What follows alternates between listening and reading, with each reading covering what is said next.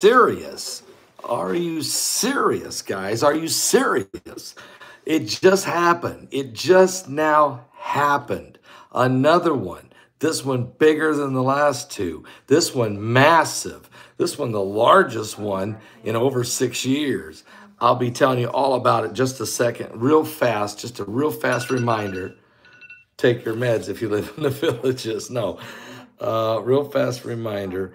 Uh, uh, PastorPaulGold.com. That's www.PastorPaulGold.com. Guys, seriously, take a look at all of the things that you have to do when you look at the economy and you look at all the situations developing the taxation, the migration, the interest rates, uh, the frustration, the Obama administration.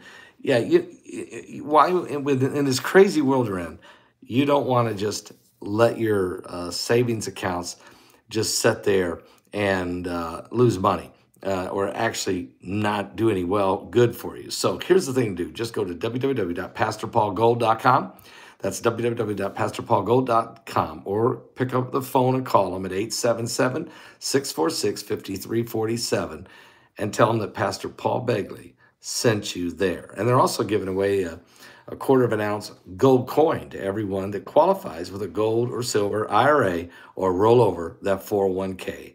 That's at PastorPaulGold.com. All right, guys, the biggest one we've seen in years just happened. Now, I already did a video earlier today on these two massive solar flares back to back.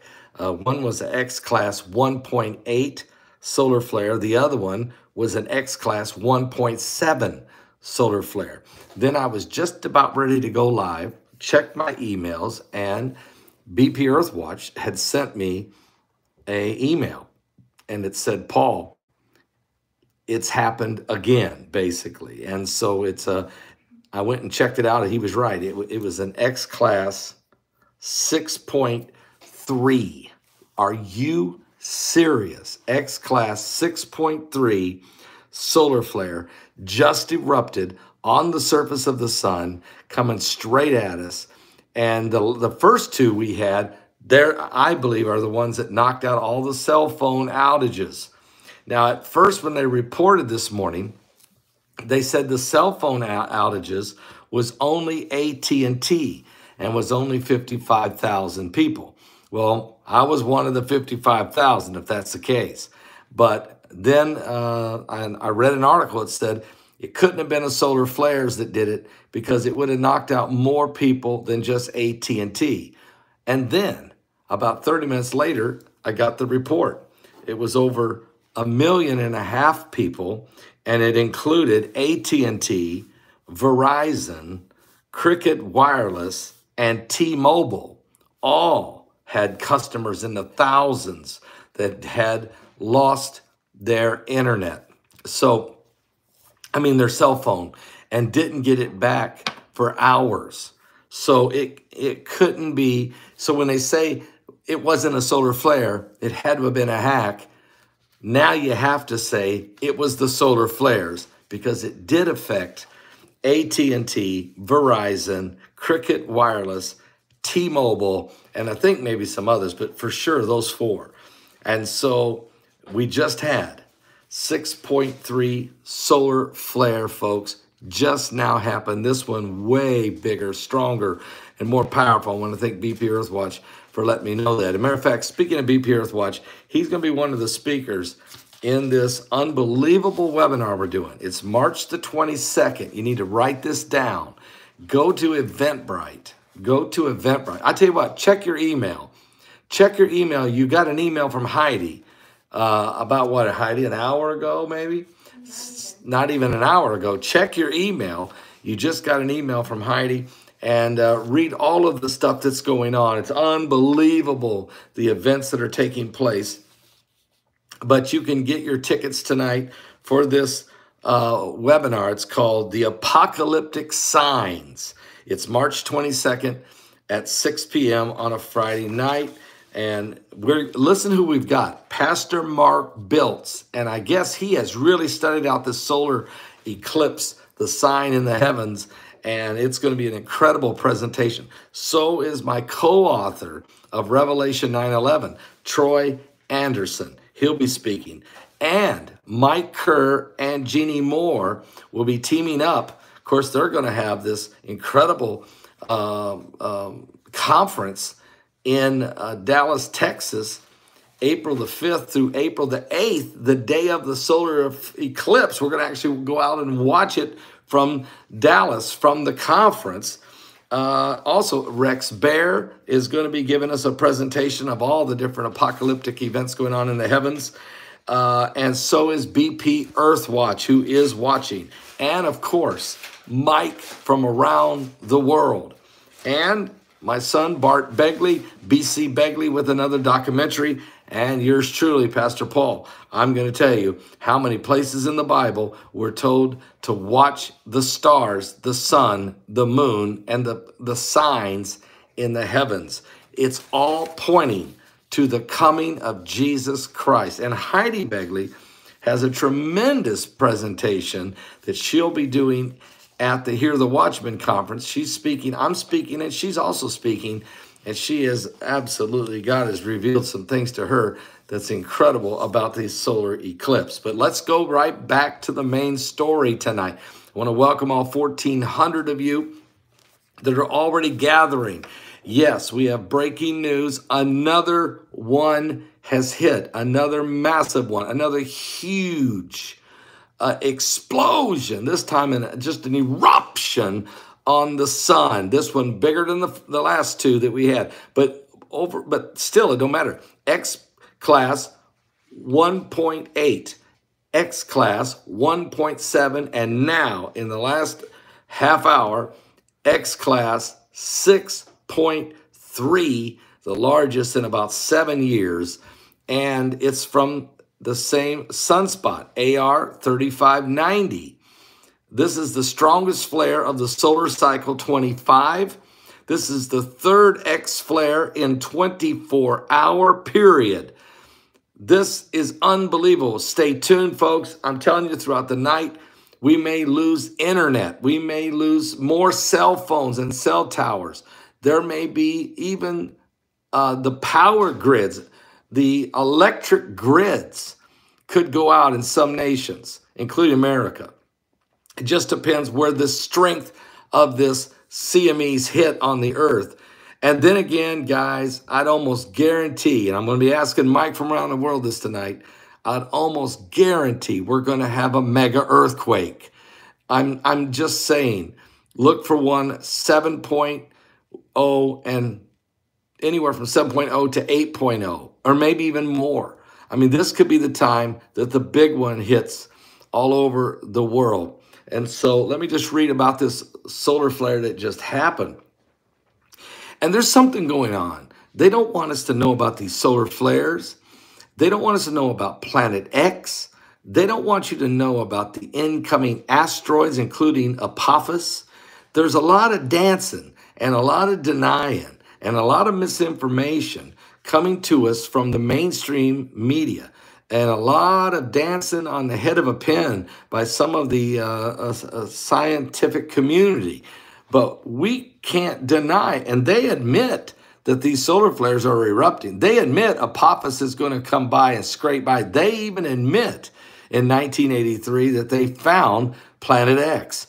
In 1992, they decided to scrap that ideal and call it a conspiracy theory. But in 1983, they show you they found it, they tell you they found it.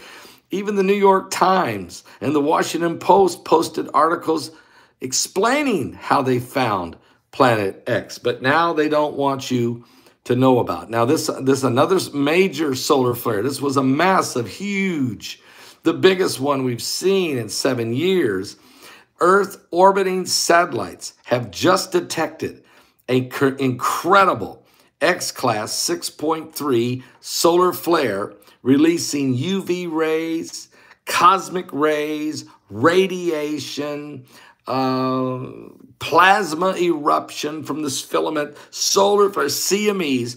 Incredible. Uh, they have uh, recognized it just happened. This is the strongest flare of this entire solar cycle 25 that we're in, maximum uh, solar max cycle 25, and it's the third X class solar flare to come in a 24 hour period, which is insane. Stay tuned, folks. Before the night is over, wait till the CMEs hit the earth. Wait till the pressure builds. Uh, I'm afraid we could see anything. As I said, power grids could go out, uh, satellite, internet, GPS. We don't know uh, just exactly uh, what could take place with something this large. And now you have three in a row in 24 hours. Sunspot you can see using the eclipse glasses. Uh, this, if you went and got the eclipse glasses, you could look at the sun right now and see this insane sunspot, AR 3590, where these three incredible massive solar flares erupted, ripping apart the atmosphere of the sun. Can you imagine that? You could actually see it. And we're and uh, so you had the massive solar flare, you had the double. I'm seeing double vision. That's right, double solar flares at uh, X class 1.8 and then X class 1.7. And then with about an hour to go before the 24 hour period was up, an incredible, huge, off the chart X Class 6.3. We've got to ask Mike from around the world what is going on? Is there more to come? Has something ha- happened? Is this the effects of Planet X? So I really want you to make sure you get your tickets for the webinar. Our webinar is called The Apocalyptic Signs, and they are and and you know what? We we we made it. We felt led of the Lord to do this webinar because of the solar eclipse, because of the coming of Apophis, because of the the solar uh, eclipses that are going across America, because of the uh, intense um, heaven heaven pressures, and then after we announced it a week ago, we get this three major solar events. Now, remember, Mike Around the World said something back on February, I believe it was Heidi, February 19th. He said in 40 days, something is going to happen. I'm gotta, we got to revisit that. Uh, we have to revisit that. Is it the five waves of energy? And is what we are witnessing now with this incredible eruption on the sun for the third time in 24 hours. What does this all mean? Extreme ultraviolet radiation from these flares have ionized the top of the Earth's atmosphere, causing shortwave radio blackouts over Hawaii and Australia. Mariners and ham radio operators in those areas may have noticed the loss of their signals at all frequencies below 30 megahertz. Increasingly, neither explosion, talk about the first two, uh, uh, as they come out of the sun's atmosphere. This means that there was a double flares uh, will, will cause these geomagnetic storms on the earth. But the pressure, the pressure that's going to build, uh, it, it's created an unstable beta gamma delta magnetic field that harbors energy uh, for additional X class explosions. Now, that's what we reported to you earlier today. And guess what? That prediction came true about an hour ago when an X class 6.3, the largest one in seven years, just tore a hole in the atmosphere of the sun and has created what could very well be power grids, destruction of satellites, GPS coordinates, and a whole lot more. Now, cell phone outages can come from extreme, powerful X class solar flares. And the two that we had earlier today apparently did that to the cell phone outages that were experienced at AT&T, Verizon, Cricket Wireless, and T-Mobile. All of them experiencing here in America massive outages. That's that happened in the first two. We just had the sun has just released this 6.3. So the earth hasn't even encountered yet the all the uh, pressure and all of the geomagnetic disruption that's coming from this 6.3 X class that just happened an hour ago. So we uh, we're anticipating this to uh, something insane. Um, look, overshadowed by today's double X flare and now tonight's 6.3, a magnetic filament erupted from the sun's northern hemisphere back on the 20, yesterday on February 21st, and some of that debris may hit the Earth. That's that wasn't even the X class. So that wasn't even the, the three solar flares. This is from the, an explosive filament erupting off the surface of the sun.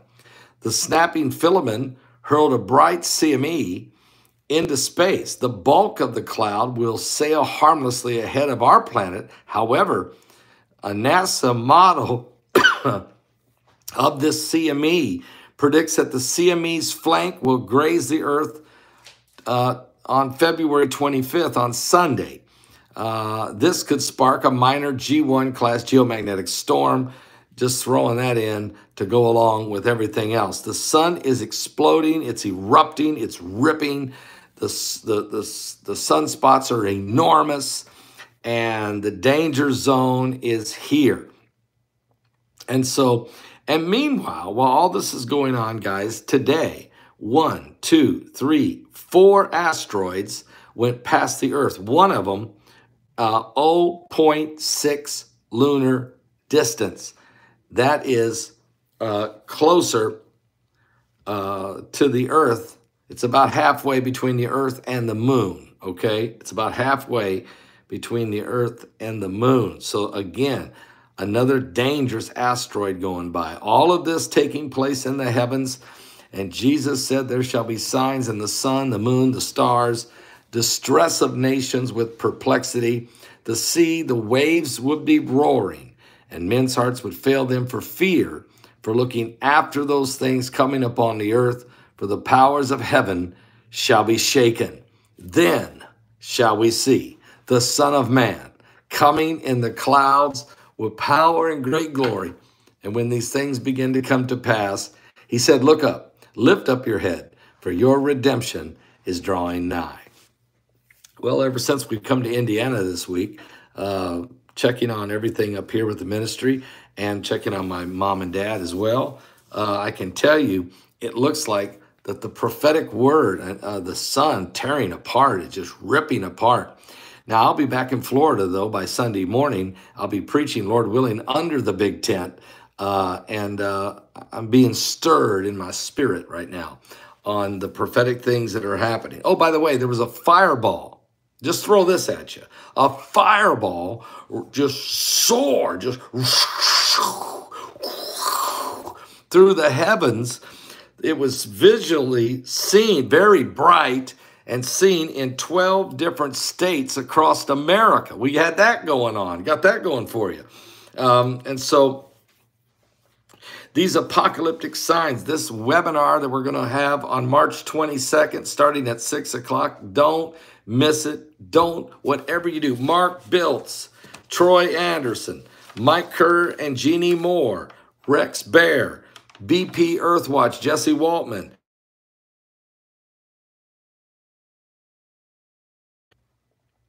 uh, and Bart Begley and myself, all of us will be speaking, maybe even more, at this webinar. We need you to be prepared for this. Check your email. Check your email. Check your email because Heidi sent it one out. If you don't see it, check your spam, ma'am. Check your spam, man, because it might be there. Okay. And if you don't, if you're not on uh, Heidi's email list, absolutely uh, request to be, okay? Send an email to Ms. ZD01 at hotmail.com. Send an email to Ms. ZD01 at hotmail.com and let her know you want to be on Heidi's email list, okay? So you can always stay up to date. Wow. Now, while all this is going on, we also have a, a very disturbing report that 56,000, 56,000 barrels of radioactive waste, highly toxic, were dumped into the Pacific Ocean off the coast of California in between 19 in the 1940s so it was about middle 1945 46 somewhere in there 1940s to 1960 so for about 15 years uh, the uh, united states government using probably the military um, you know I, I don't know which branch or what but certainly the department of defense involved in this uh, radioactive uh, production dumped 56,000 barrels straight into the Pacific Ocean off the coast of California. And this these barrels of radioactive waste were of tritium, uh, carbon 14, and also D, DDT. These are, you know, excessive, um, uh, that's an excessive amount of raw radioactive material pouring into the Pacific. These barrels were not sealed they just poured them. Okay, so you're, you're talking 56,000 barrels of pure waste, radioactive waste, and uh, that's still there. Um, okay, so it's it's really um, it's very very very disturbing. Uh, but uh, this means that you know there's been a lot of radioactive water, a lot of radioactive harm to the marine life now for over 60 years. And you have to wonder how much more is this? This is a report that we're just now getting declassified. My question is just how much really uh, the has the world with all these nukes and all these centrifuges uh, and all of this uranium, and plutonium, and tr tritium, and uh, all of these uh, uh, you know radioactive uh, material with rogue nations now in possession of it, how much is really being dumped in the oceans of the earth and just how toxic has the fish and the marine life and the water systems uh, and, and the rain, the acid rain coming down after it's evaporated up with this material.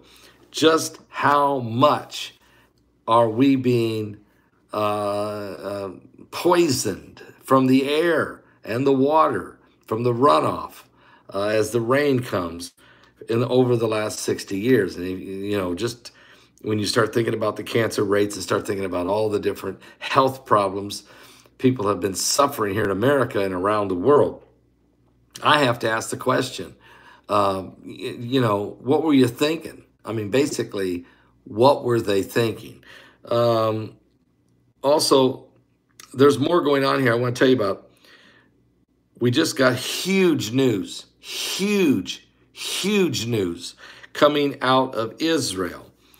Uh, Benny Gantz, uh, Benny Gantz has just said that if there isn't a ceasefire agreement uh, soon, and that has to, and not not a two state solution either, but a ceasefire only has one condition: all hostages has to be released, and if not, soon, Israel's IDF is going to absolutely tear Rafah city apart there in southern Gaza, and they'll do it during Ramadan.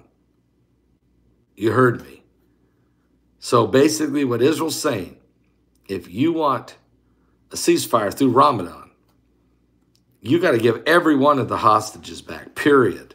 Dead or alive. We know that some of them are probably dead, but you got to give us back. We think about 30 are dead, but there's still 150 uh, over in, in, in uh, hostages, approximate you got to give them all to Israel. You got to give them all. And then Israel will give you a ceasefire at least through Ramadan. But then, after Ramadan, Israel will continue to destroy Hamas. So this is the deal on the table. And Benny Gantz, who's on the war cabinet of Benjamin Netanyahu, uh, you know, is a strong, I mean, strong military leader and has been his whole life, really. So this is a huge information coming out of Israel. Um, meanwhile, the whole world has been applying incredible pressure on Benjamin Netanyahu and the government of Israel by trying to get and, and, and putting pressure like you wouldn't believe, not only to get Israel to stop their offensive initiative in this war, but to agree to let there be a Palestinian state and part the land. I mean, so if you're Israel, you get attacked, 1,200 of your citizens get butchered, another 250 get held hostage, some of them being killed. We don't know what they're doing to them.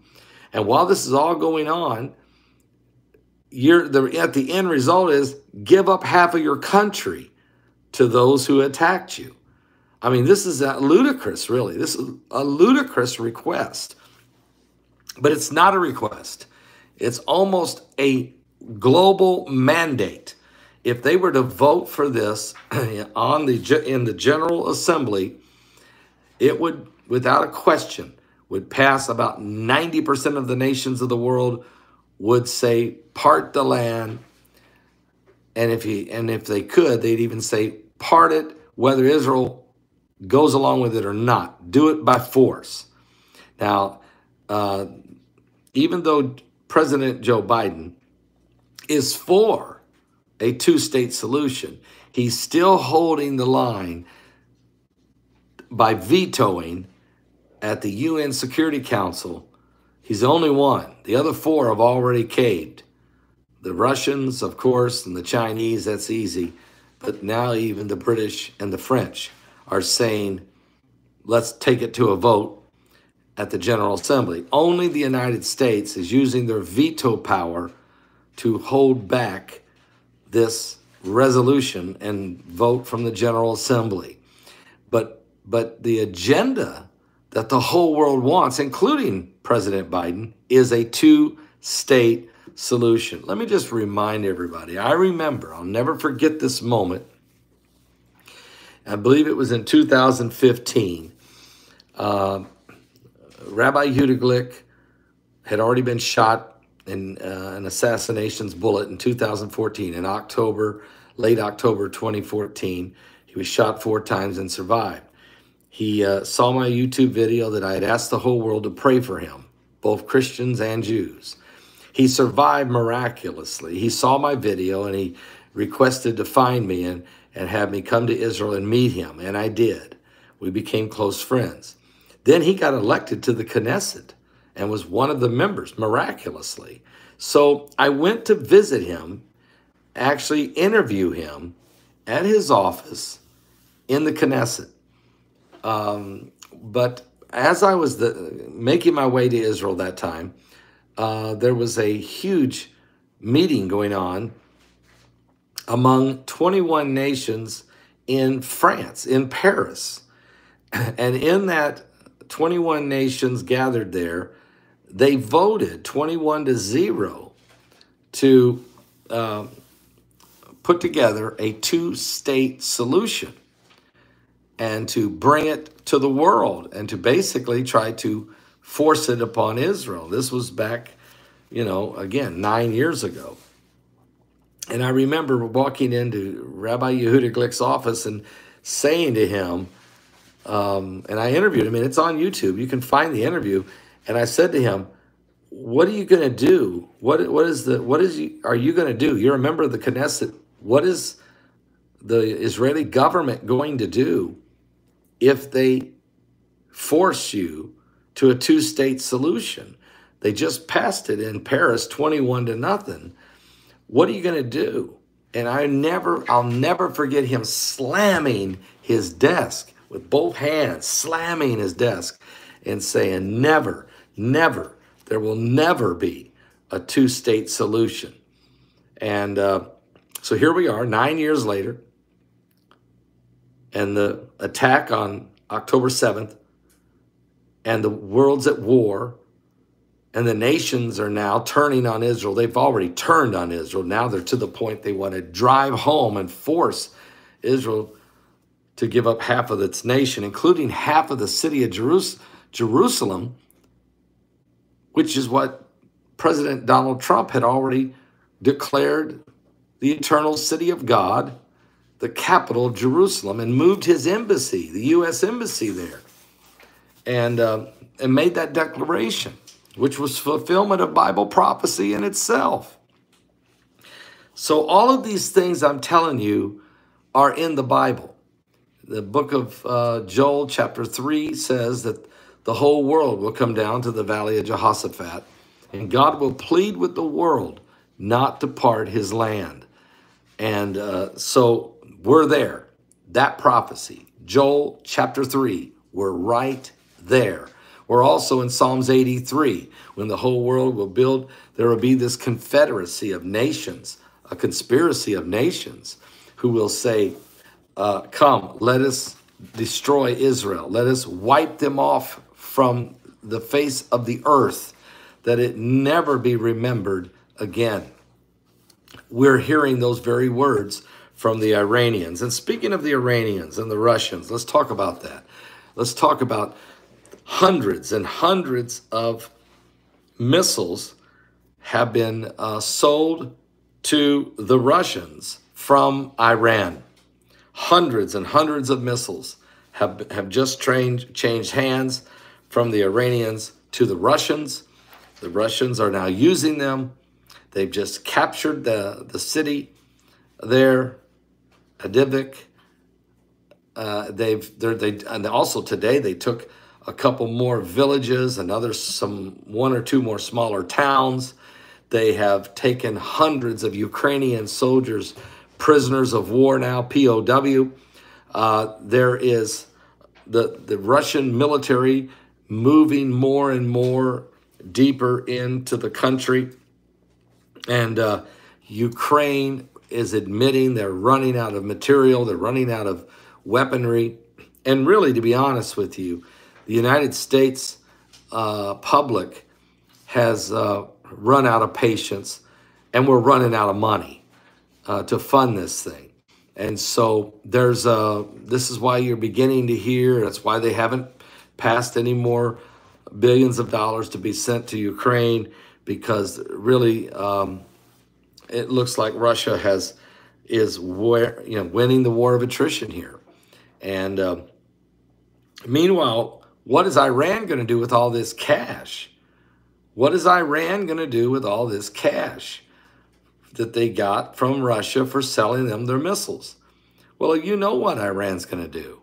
They're going to turn around and use it for their war machine uh, as they continue to, you know, they'll use it for their economy to some degree, but they'll also use it for their war machine to help uh, try to prop up Hamas the best they can, but certainly to supply Hezbollah in southern Lebanon and uh, the Houthi rebels that are shooting at the ships in the Red Sea and the Mediterranean from Yemen. Um, and they'll prop up, no doubt, uh, Syria, uh, as Syria is setting up along the uh, Golan Heights on the other side of the border of Israel, along with Iranian and Russian forces, all in the Middle East and Syria, guys. This thing is really getting uh, intense and dangerous. And I'm telling you, there is there's a we're at a point that when I look at prophecy, I see what's happening in Russia and Europe, and we already had this. We already heard Russia say that uh, as they make in their move, that uh, the Baltic states are um, they're considering and if you're considering those Baltic states, then you're probably considering Poland, Romania, um, Hungary, and S Slovakia. And those nations all know they're in the path. And so, and it, and it's not like Russia hasn't attacked Romania and Poland before because they did, and they and they used to control. Poland and Romania were under Russian rule. Even I mean, look, there's people that uh, the the communists were in control of those nations right up until the end of World War II.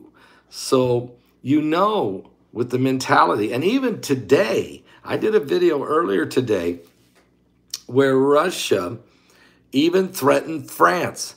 Now, France had planes flying over international waters and international airspace over at the Black Sea. Russia threatened to shoot those planes out of the sky. A matter of fact, even uh, some of their defense secretaries uh, out of the Kremlin in Moscow said they will if if France keeps flying too close, they will shoot their planes out of the sky.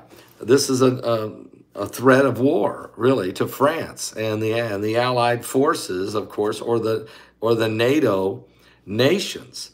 And so we're watching that happen right now. Uh, another major concern.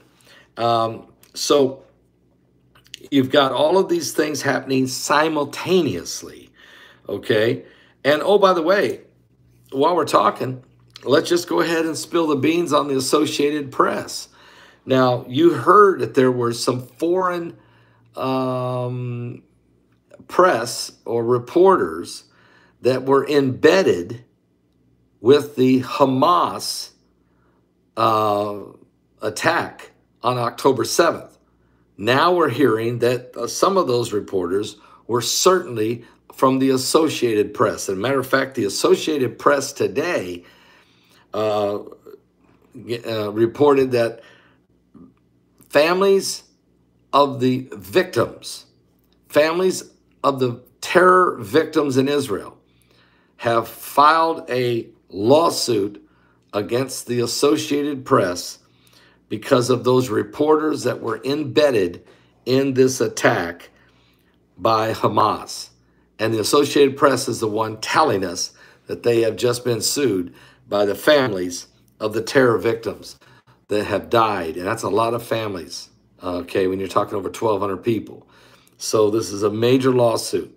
Uh, and why in the world would the Associated Press be embedded on an attack on a terror attack. Why would you do that? You're saying, well, they're the press. They got to cover what's going on. No, no, no. You you can go cover a war once it's erupted, once the, the you know the thing is broken wide open. But this wasn't the case. This was a secret, demonic, de destructive, uh, devilish attack that they knew about and were involved in and went across the the, the border into Israel to cover it. This is unbelievable. I mean, this really is unbelievable. Um, and so we've got that going on. Okay.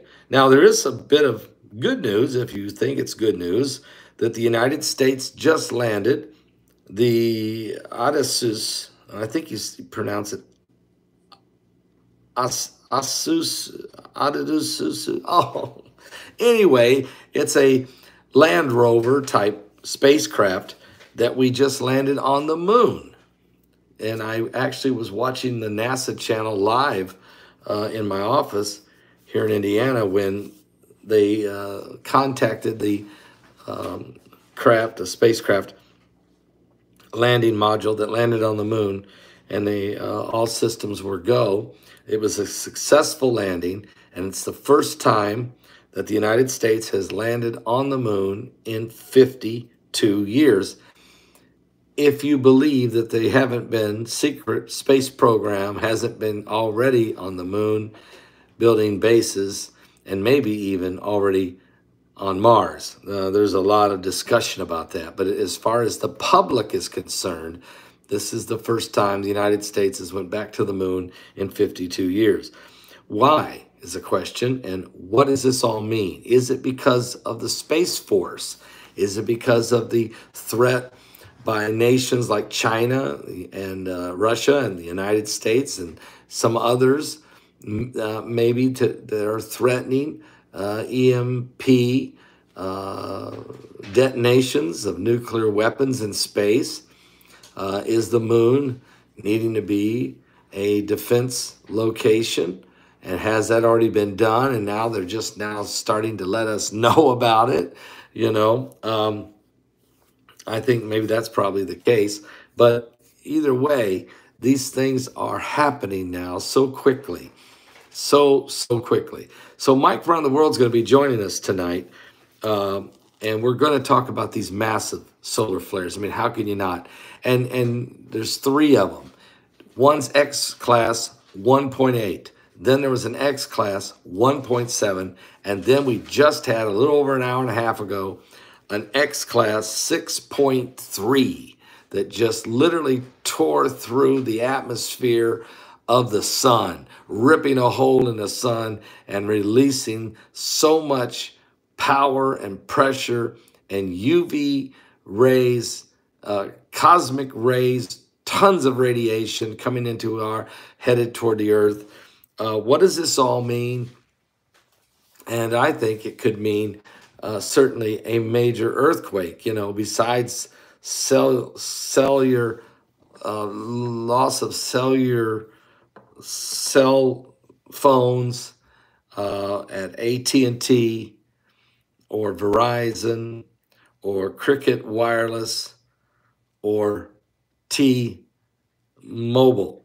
Okay, uh, no doubt about it. It's uh, it's incredible what's happening here. Those all of those cell phone outages happened because of the two solar flares, and now we have this massive third one, all in 24 hours. Is this is this because the effects of Planet X? Are we, you know, they don't want to talk to us about it. They don't. They always want to say, well, the solar flares, you know, they don't want to tell us about. We can't get a clear answer, a clear discussion, even on what's going on with the solar flares on the sun, the CMEs. Certainly, we can't get a straight answer on Apophis and all of these different asteroids that are uh, approaching the Earth and its galactical belt. And we can't, we get flat out, got told one thing and then totally changed Planet X as it's moving closer, apparently, this binary system uh, into our solar system. I mean, uh, you know, there's no denying that. So I, am thinking that, um, and then we had this fireball that went across 12 states across America yesterday around 6:30 in Eastern time, uh, through in the eastern states and the Midwest. It was basically seen 12 different states, very bright uh, and, and extraordinary uh, fireball that nobody saw coming. No one warned us. Maybe they didn't know about it. Uh, and because some of these are, are hard to detect, but all of this is happening uh, with the signs in the heavens. So let me just say this two things to remember. In the 14 years that we've been reporting on current world events and doing uh, prophecy uh, and news updates and explaining how the current events are actually a lot of it are tying directly with the Bible prophecies. Okay, and that's why we wrote the book Revelation 9 11. That's being released on March 26th. If you haven't pre ordered yours, you should do that right away. Order five of them because you're going to need to give four of them away. It explains everything that's going on in these end times and the plan of salvation, the great harvest. You'll be a part of that. You need uh, you need to keep one book for yourself and give the other four away to people like friends and family who really I know that once they start reading it, they'll they can't lay it down. It's like the late great Planet Earth on steroids that Hal Lindsey wrote, and we really believe that lives will change.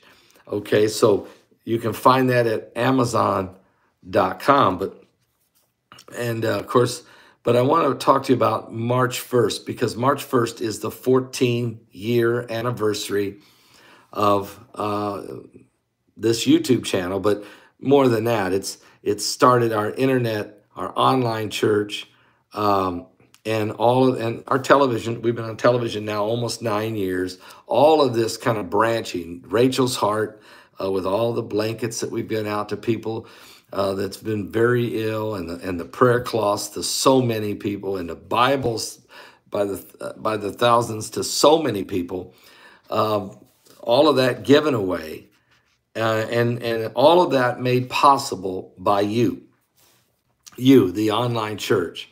We can't thank you enough. We we really can't thank you enough.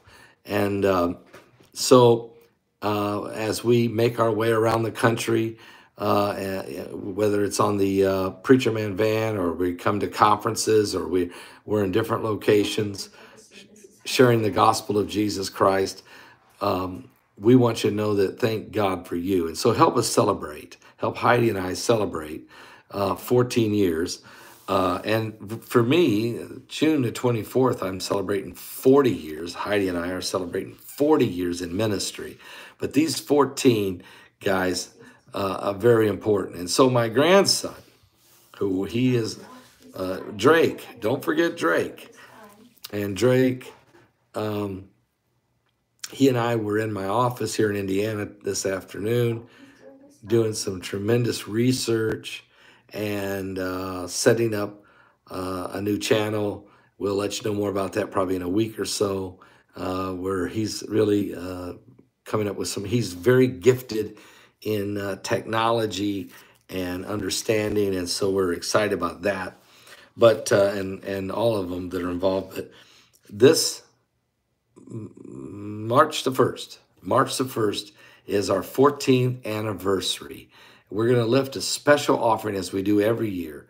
I want you to pray about it. I want you to think about it. I want you to ask God if you can give your best offering uh, that once in a year and just say thank you. And if if and if this ministry in any way or this online church of all your wonderful friends out there that have been able to come together and build such a cohesive a great group of people let god help you give the the best offering that god would want you to and we're taking that offering up march 1st matter of fact we're opening up the, the window now some may want to start doing that uh, but march 1st will be the day that we'll celebrate and we'll try our best to see what God is going to do and come together with the uh, the biggest offering that we can together to move forward with the gospel of Jesus Christ. We really want to keep reaching the world. And if there was ever a time that we need to be uh, focused on it, it is right now.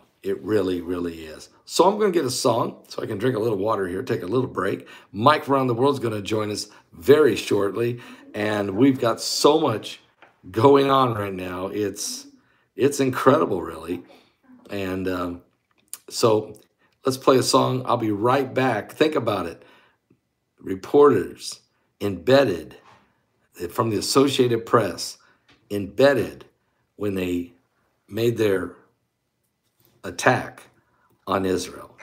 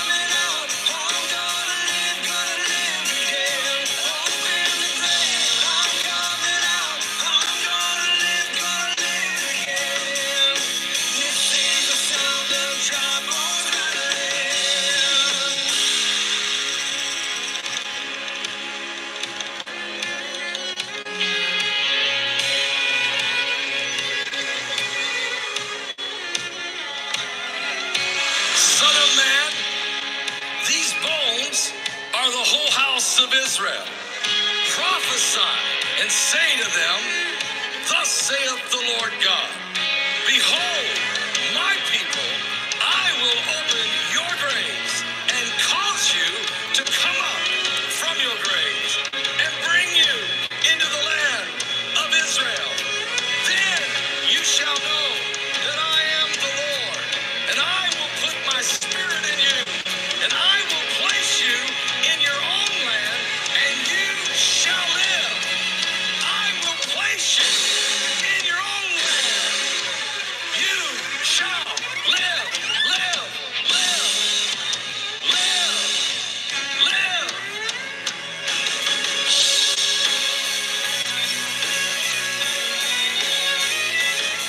That's right. That's right.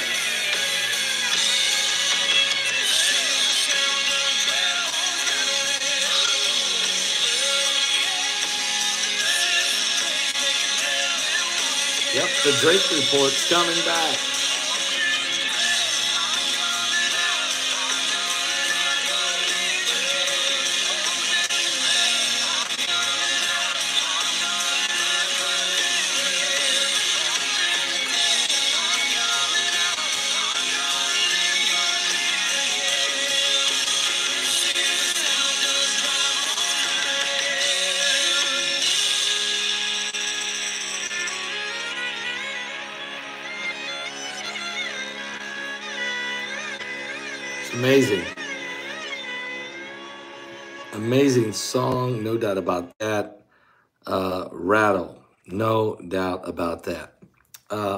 Saw Kevin Wilson there in the chat room a minute ago. I'm going to play one of his songs uh, at the top of the hour or so uh, in the next five ten minutes.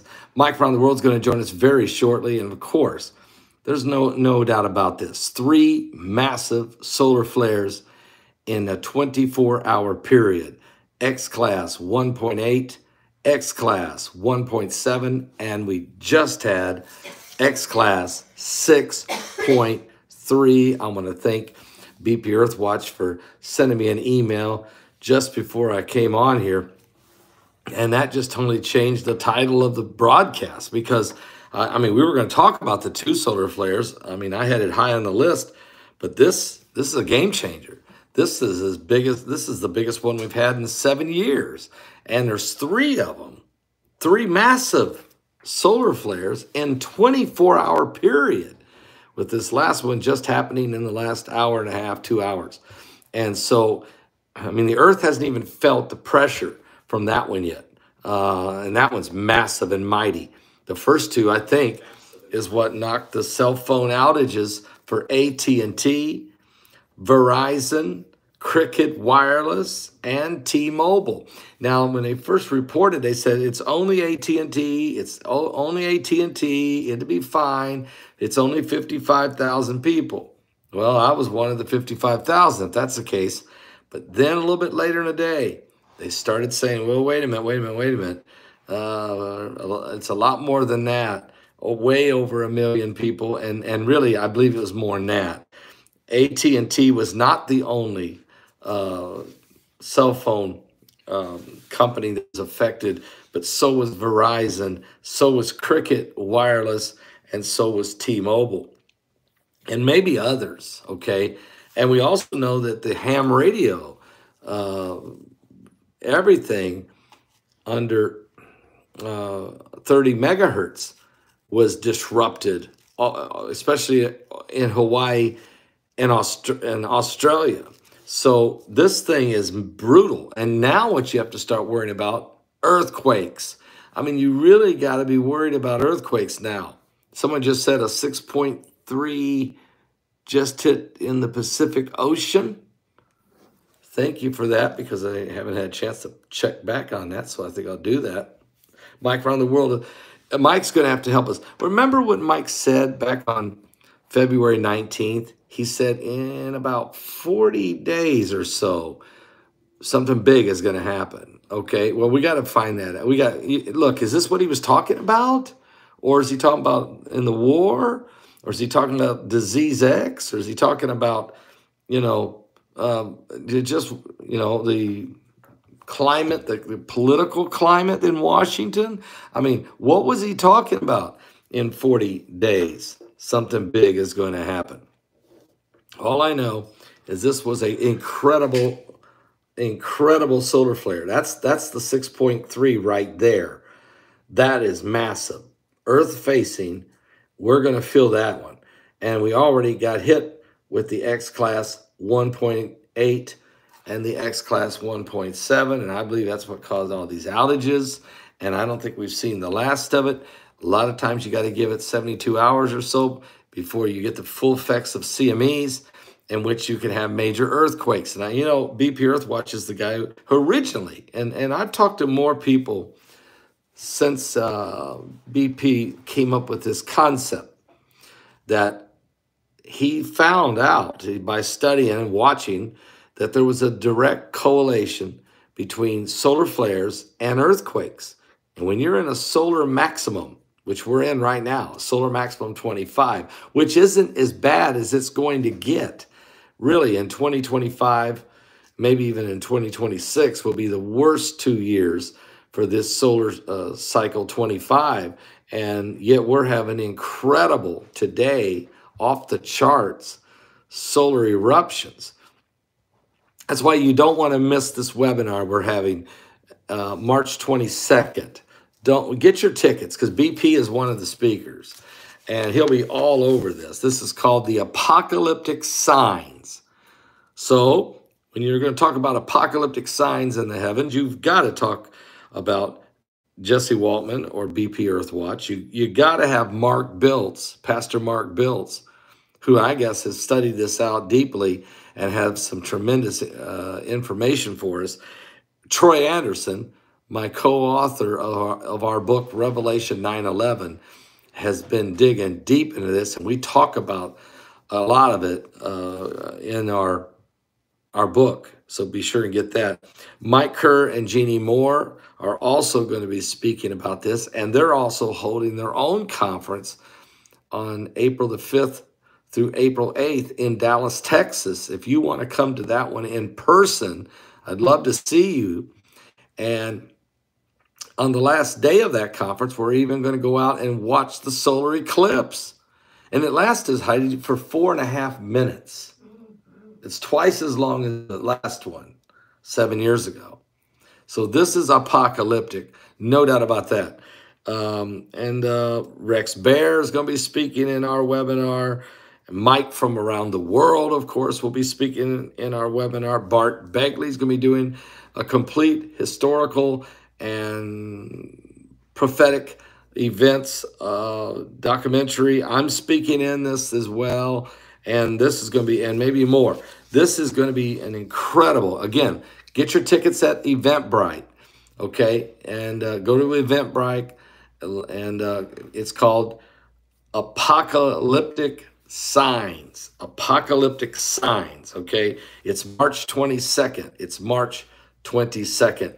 It will be an incredible, um, no doubt about that, incredible um, uh, webinar. Okay, so I don't want you to miss it. But anyway, tonight we'll be talking to Mike about these things. But what did Mike say? What did he mean back on February 19th when he said, in about 40 days or so, we're going to have a big event, a major event? What did he mean? Was he talking about the, sol- the solar flares, the sun erupting? Was it had did it have something to do with the five waves of energy?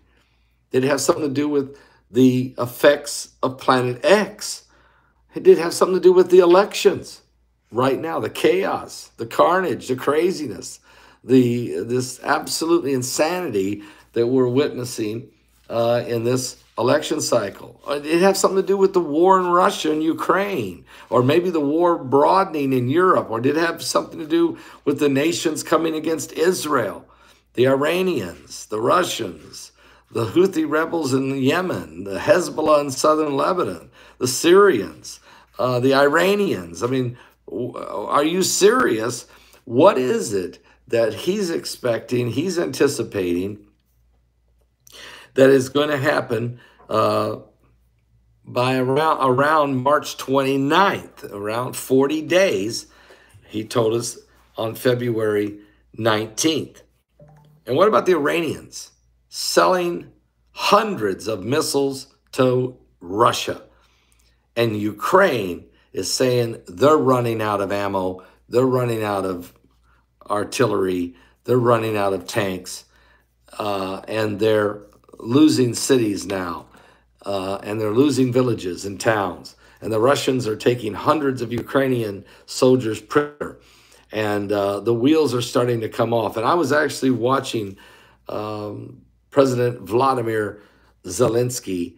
He was doing an interview. Heidi, who was he interviewing with? Was that? I don't remember. I can't remember.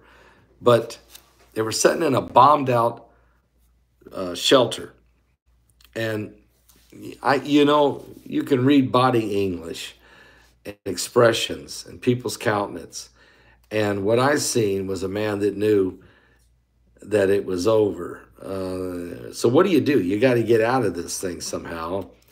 Uh, does he does he go ahead and let Moscow know that he wants to surrender and uh, Russia can keep Crimea and uh, all the land that they've taken here in eastern Ukraine? or does Russia say, well, we, we want it all?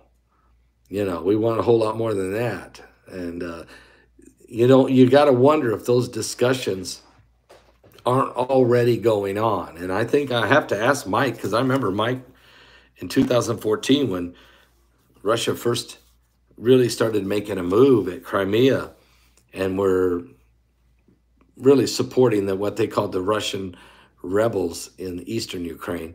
And I said, Mike, is, is, does he just want Crimea back and, and, and the eastern Ukraine? Mike said, no, he'll never leave Ukraine. He will stay until he takes it all. And that was 10 years ago, folks. That was 2014. I remember because Heidi and I were in Jamaica preaching a revival there in Jamaica when this happened. And, um, and I remember Mike saying, they'll never leave. And 10 years later, they haven't left. And, and despite that, even the Russian populace has been very angry with Vladimir Putin. So much so that, uh, you know, uh, Alexei uh, Naval, Naval, Navalny, Navalty, whatever, I can't remember his name, I can't pronounce it. Um, you know, he became a champion among the people and he raised up and uh, Putin poisoned him and then threw him in prison and now he's dead and now they won't give his body back to his wife or his mother and heidi you kept saying to me she needs to address vladimir putin personally. Mm-hmm. And she did. Did she? she did. And i watched the video of it this morning in which she demanded that he give her son's body back. Mm-hmm. That this was inhumane. Mm-hmm. And as far as I know, there was still no word out of the Kremlin, not yet. And I think it's because I think Putin's trying to distance himself. Uh, when he took when he took Navalny and put him in Siberian prison, as far north up there in Russia that you could put somebody away from his family and where any no one could, you know, difficult to get to him and he put he tucked him away for three years. I think he was trying to put distance between him and to put down the revolution uh, faction that was rise, raising up in the streets. Um, but now, with his death, it's rekindled again. But at the same time, the timing is while he's taking taking more ground and winning more in Ukraine. So he's trying to now put distance between his death and surrendering of his body. I mean, there's a lot of calculation going on here. Don't ever forget that Vladimir Putin is ex KGB. Maybe he's always. I think he's sort of like this. Once, sort of like some of the CIA agents I've talked to, once CIA, always CIA. Once MI6, always MI6. Once Mossad, always Mossad. Well, I would say once KGB, always KGB. And so there's some sadness. There's some really bad sadness of, of what's happening there.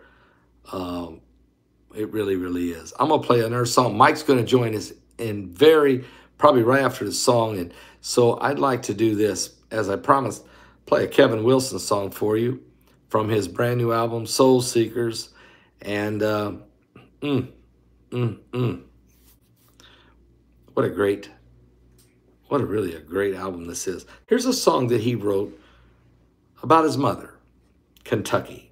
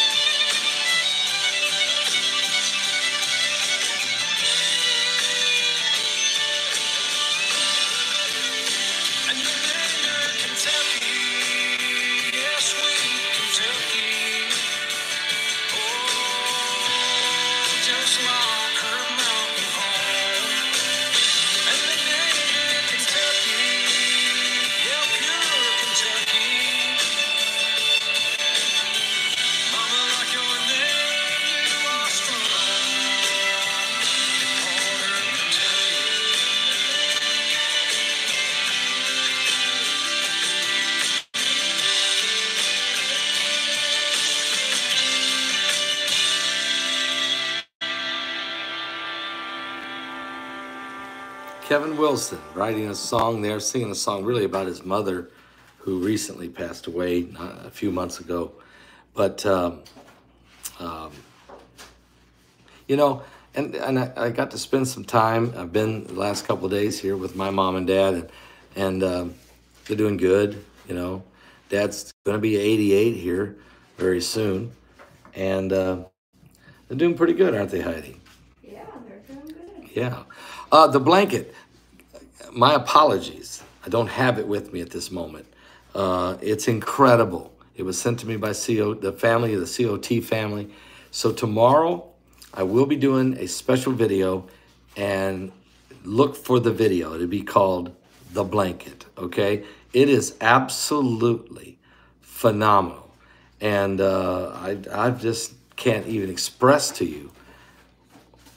So many people participated in it, Heidi. It was amazing. It, it's amazing. It really is. And I apologize because I said I was going to show it to you tonight, but I don't have access to it tonight. But I will tomorrow, and I will show you tomorrow, okay? So be looking for that video tomorrow called The Blanket, okay? I really want to thank everybody for taking the time and the effort to, to make such a beautiful, beautiful uh, piece of art in a way from your heart.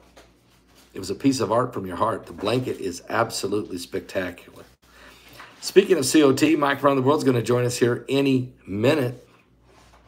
And uh, wow, you know, you know, I know everybody always says, "What about the stone steps?" and "What about the coffin?"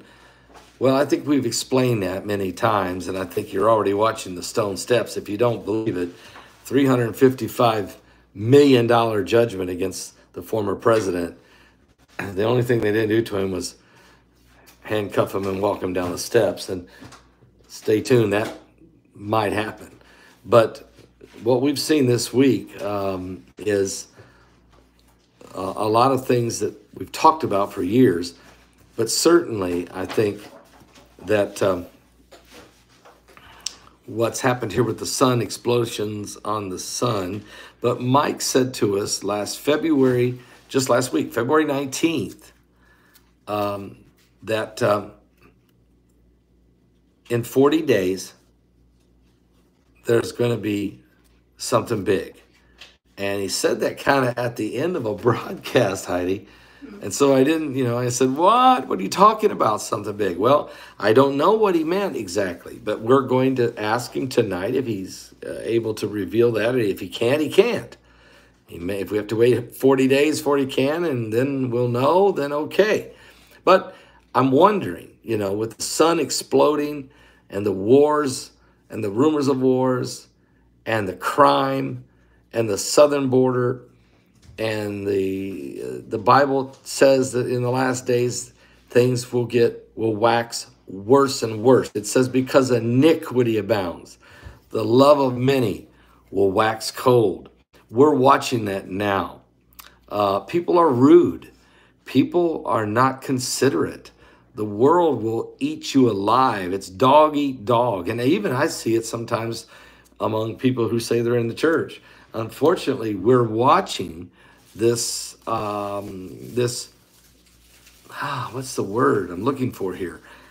Um, no love, okay? This selfish mentality, and it's it's it's uh, and the persecution that's going on right now among Christians and Jews, and uh, the hatred for children, the exploitation, the trafficking that goes on, and the fear mongering that goes on constantly by the media. They are the worst.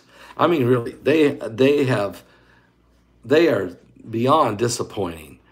They are agents of disruption, and uh, I'm telling you, it's bad. But the man with the plan, uh, joining us, folks, from somewhere located somewhere around the globe. It's Mike from around the world. Mike, how you doing tonight? Okay, wait a minute. Wait a minute. We got to have a voice here. Hang on. Say that again. Is it okay now? Oh, it sounds great. Okay, doing okay, doing okay. Mike, I'm glad to hear that. You sound better than last week. You were you. Yeah, I feel better. Yeah, your voice is was, uh, your voice. Much better. Well, Mike, we've been talking here about these solar flares. You know, these there's three of them in the last 24 hours. One in the last couple hours, which was mammoth. It was, uh, you know, we so we had an X class 1.8, and then we had an X class 1.7, and those might have been what caused all these power outages. I mean, uh, cell phone outages. Um, and then about two hours ago, we just had a massive X class 6.3, and this is the largest one in seven years. So you have all three of those in a 24 hour period. I guess my first question is Is this the beginning of a hostile sun due to the binary system uh, that's coming into our solar system? Well, that's a good question, uh, Pastor Paul. So let me explain this. Let me explain this. About, uh, I think it was uh, January. Uh, I put some dates up in January. Yeah, yes, you did. Of course, that was on the website. One of the dates was February 20th. And uh, that was, that's been up there a while. The other one is February uh, 28th. So those have been up there for a while. But in order for someone to get close to any solar event yet again like that, well, they must know something about Right. some perturber somewhere, right? So Right. I'm, uh, here's what I'm hoping. I'm hoping that some sort of credibility with consistency with these dates will, will put a bit of a foundation for something more that must come forward because although we have lots of problems in this world, our entire solar system will be under siege soon. And uh, it's not really something anybody should take lightly, but should be highly aware of. Um, which is why I suggested that webinar with, uh, you know, BP and all those individuals who know about uh, Nibiru, some people call it, or binary system is what I know it by, and uh, solar events and, and the like, because we're going to have to deal with that more and more this year, and it will be devastating at times. So, I'm, I'm hoping uh, that some sort of credibility can be established in that in that area, because it's very difficult to believe, Pastor Paul, when you're talking about something the world does not cover. Uh, Right. Talking about a subject that most people don't understand. For example, you have amateur astronomers and those who work with JPL and all these different guys. Whenever they begin to figure their calculations dealing with uh, celestial mechanics and and uh, gravitational pull, this, that, and the other, there is still a lopsided inertial tug on our solar system coming from one side. And the only way to explain that is a large gravitational pull coming from out there in space. The only thing that would ever have that power to sustain it uh, that long, we're talking about since the time of Voyager. The only Wow. thing that would have that type of mass to do that uh, would be a binary twin, but not one, you know, it's not textbook, no, but it would have the mass to offset some of, you know, some of the formulas they have to adjust for. Even, even uh, you know, this this small flight that went to the moon, made that that was an autonomous vehicle, and autonomy is very important because it can make adjustments on the fly, which Is is, it? Are very you important. so? Are you saying that this moon landing that just happened this evening is something to do with Nibiru? Uh, uh, uh, No, no. What I'm saying is, is that the forces that are acting on our solar system are so strong that they have to make. Uh, they have to have craft with autonomy where they can make their own decisions. I see. And when they're flying in space, so they can make adjustments, right? Yep. Or they wouldn't make it. They just wouldn't make it. Um, so, as this force becomes stronger and stronger, it definitely will mess with a heliosphere, is what it's doing right now. And of course, any weak spot in the heliosphere will demand a response from the sun. It's a very intricate system. Think of it as a cell wall, right? If your cell wall and any of your cells are penetrated, your body's going to react. The sun and the heliosphere are the exact same way, right? Even as far as ratios, um, the creator made the ratios of this solar system that we're in, just like the human cell. It's amazing. It's quite amazing.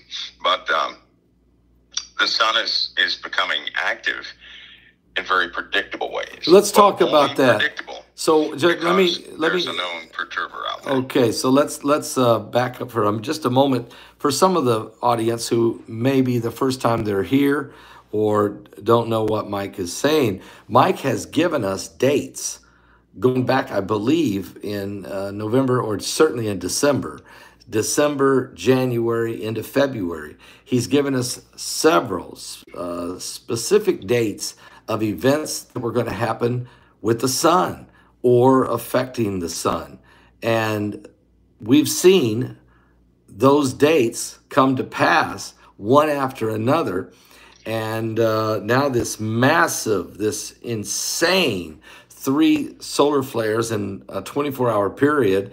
You basically you predicted this again, um, and you're saying is we have to build some credibility of what you're talking about by setting dates and then showing people when things are happening, so that when you explain why it happens, people won't just say, "Oh no, I don't hear these crazy idiots," when, because you're not going to hear this from the mainstream media. Is that right, Mike?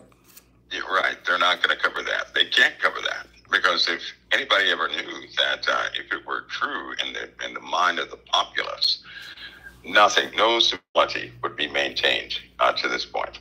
Everybody would take their own future in their own hands, and they, you know, it would become a, a virtual, you know, it would be real chaos in the world. So nobody could, should ever look forward to that. People will have the effects on the tops of their heads before they admit anything. They're Wow. just not going to do it. And don't you find it strange that um, we have those flares, of course, right? Now, the, the actual cell phone event, this, this cell phone trouble Yeah. with the networks is strange. Let me explain one thing. For example, AT&T starting at 3:30 a.m., which was uh, one of the first network flip bit problems. Um, you had a series of phones go down. Now, here's what that means: you could be in your house, your phone could go down, Heidi's could stay up, right? Or your son's could go down, and somebody else's could stay up. Uh, this was happening all over the place, which suggests that it was some sort of batch outage. Now, what I mean by that is when cellular, uh, all cell phones have an ID, right? So they have a unique signature, so to speak. And it was certain batches of phones within those ID lots that were going down. This was with AT&T for the most part. Now they handle government emergency communications also. AT&T does Okay. which means soldiers out in the field utilize some of that network. And there was a knowing, there was a knowing. But um, when that network went down, some of the individuals from, for example, T-Mobile, Verizon, all these guys, they their servers were routing the calls, but nobody could reach any AT&T network. And Wow. some of their calls began to, you know, was jammed up. So I would say that was more, you know, I'm not definitively saying this uh, because I can't. Even if I knew what it was, I still can't say it. But I would say this was more of an internal issue they had to handle, which could have come from an external source. So it could have been a hack of by one of the major players, uh, nations here in the world. Right now, and hacking is not like it used to be. You know, it's, it's not always somebody external uh, from the U.S. trying to get to the U.S. We have real problems here in the U.S. now where people Right. that are part of corporations and companies hate the USA. In their minds, the USA is gone, and they will take these irrational actions uh, to do certain things. So they quickly had to swap everybody over to a different uh, network so they can work the other system. They will find the absolute cause. They will find the signatures.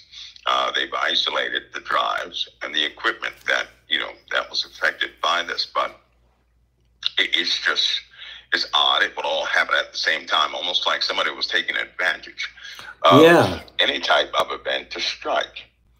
Yeah, and, and, and here's the thing I, th- I thought of earlier today is I, and I think I told Heidi this. I said, it's as if there's some probing going on. They, they they could have really taken down the the cell phone systems, the GPS systems, everything, but it was like they were just probing to see what they could do when they want to do it, and and they took advantage of the solar flares that were erupting on the sun as a good time to test it. Is that? I mean, we've seen probing going on with the Iranians and Hezbollah, and Yeah, they. You know the Russians do a lot of probing as well, and China, and we do a lot of probing in the United States. So, do you is that what might, we might have been seeing a little probing going on internally or even externally? We could have. We could have. The most, the, the, one of the most disturbing things about it is not the communications. Uh, it is the way that people reacted. It is what is the information they gained, Yeah. right, from the reaction from the news. Because I intentionally looked at every single news organization to see what they were going to say. Now, these guys had genuine questions, and all of them said the same thing. They said, "Well, could it be from the solar flares?" Right. Which means they did not know. Right. They didn't know. AT and T could not give a response quick enough. The White House got involved. They wanted to know what happened. Uh, okay, so our enemies were also watching the same news channels that everybody else Yeah. watches, right? Yeah. So they too were gauging this. What's so dangerous about this fastball is that communications causing that type of reaction lets anybody out there understand and know that we we, we have gotten a little too arrogant concerning technology, a little too comfortable, right? Yep. we have a power grid and each each network in a power grid is isolated. Nobody can really hack into it unless they write their own station. If that were to happen with a power company it would send everything everything would be upside down. Plus if they were able to do that with a power plant so to speak it'd only be about a couple of hours before we had a meltdown. Now unlike other times that we've been in because most of these nuclear uh, facilities haven't altered. If they did have a meltdown, which could take place in about a couple of hours, and it would be irreversible, you're talking about a radius of about 100 miles to, I say, one to 1,000 miles of an actual kill radius, right? Wow. You're also looking at more than that, the radius of, of uh, sickness and things like that, right? We have some very vulnerable issues within the U.S., and we have this at a time where the populace is not quite loyal to the U.S. In other words, we have people in this house Yeah. called the United States of America who hate the house, Yes. right? Yes. and things are becoming unhinged. And this should, uh, whether the Lord allowed this to happen, whether somebody did this and it was some nefarious activity, whether somebody hacked it and it was a foolish act or some equipment broke down, it demonstrates our lack of resolve when needed. It really does. Civilian and government coordination is not high enough to overcome this problem quickly and efficiently enough, right? They should have restored communications within a couple of minutes. There should have been a redundant backup to handle communications easily, right? So only a few people should have noticed that outage. That wasn't the case. It began at 3:30 a.m. Even AT&T did not recognize the outage until a specific website, which people report to, saying that there are services out. Wow. They took a look at it. They verified. So we have a problem. We Yeah. have a big. That's a problem. Well, That's a big lot problem. of Mike, a lot of the nine one one uh, emergency systems didn't work, and then this is a huge problem. Now that everybody's got off the landline and have went to cell phones, this is a and but when the nine one one uh, in major cities wasn't working, this is catastrophic. Yeah, there are 4G um, uh, uh, delayed networks there, or, or secure networks there. And so when AT&T's routing system went down, right, when they actually route calls, that was it. Because every single call has to be routed somewhere. A computer, a set of servers handles that. The, but again, the big problem was you had you had uh, certain government facilities that had problems, Pastor Paul, right? Yep. That's that's a no go. Certain military installations were affected by the AT and T outage. Wow. Of all the companies, AT and T was the big one. That is the wrong company to be able to you know get to. Right. That If kind you- of that any kind communications company could do us in. Yeah, so that's where AT&T. we we kind of feel that the probing uh, from some uh, actor, a nefarious actor, whether it's somebody right here, several people in here, it wouldn't be just one guy hacking on a computer. I mean, this is an, a highly orchestrated event, whether it's from exterior nation or someone or the, a group inside. This was no, uh, you know, lucky hacker. Right. And sadly enough, if this was an attempt to, to, to probe, to see what the reaction of the U.S. was, I believe they got too much information today, right? Which I, it also means they could easily uh, diverge our attention to small things like that while they do something else. Wow. We have vulnerabilities. Yes, We do. yes. And we're, unfortunately, uh, people are not coming together to handle that, right? Well, let's talk They're about yeah, let's talk about some of the things that's happening right now. We can look at the Middle East and we can look in Russia. The the fact that the uh, United States, thank God, the President of the United States held on to his veto power and did not let a vote come up to divide the land of Israel in a two-state solution. Uh, but boy, we're hanging on by a thread here. And now Benny Gantz has made the statement that. Uh, if you want this, uh, if you don't want to have us attacking Rafah during Ramadan, you better right now turn over all the hostages, or we're coming. Uh, I I think that that is a serious that could blow things sky high in the Middle East. What's your thoughts? Well, it's the, the tensions in the Middle East um, in the last 28 hours has increased. It's quite, the atmosphere is quite thick, right? Yeah. A lot of uncertainty. And the situation, uh, again, it's a bit worse than what anybody would report, right? There, there's a, a legitimate worry with commanders and folks like that who are over there that uh, Yeah. there's a, a massive underestimation of things. But I personally believe that uh, Joel chapter three, Yep. we're about to see Joel chapter three, Yep. and because they're going to, in my opinion, this is my opinion, they they're going to part that land. Yep. They're going to part. They're going to force it. I agree. They're talking more and more that they want to disarm Israel. They, they're they're Yeah. calling Israel a Middle Eastern terrorist organization. is what they're That's calling it. crazy. That's crazy. But just And what you're Iran saying, Has, Iran has overwhelming support. I know. Not only that, Pastor Paul, but you have NATO. They're ready to act outside of the USA. That's not looking for Okay. our Well, approval. now, is that because we don't have the leadership that we used to have?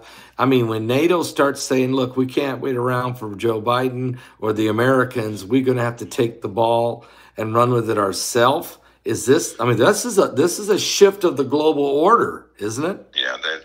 Yeah, it's you know what? If you look, it's been slowly but surely. It's kind of like Saudi Arabia, right, and Iran. Iran doubled their income with Saudi Arabia, who double dealt with Jordan and the USA and Israel, right, and Russia. Yeah. So they've been triple dipping, but they've made so much money, Pastor Paul, right? Uh, Saudi Arabia is spending the equivalent of about $4 billion every three days on projects. Okay.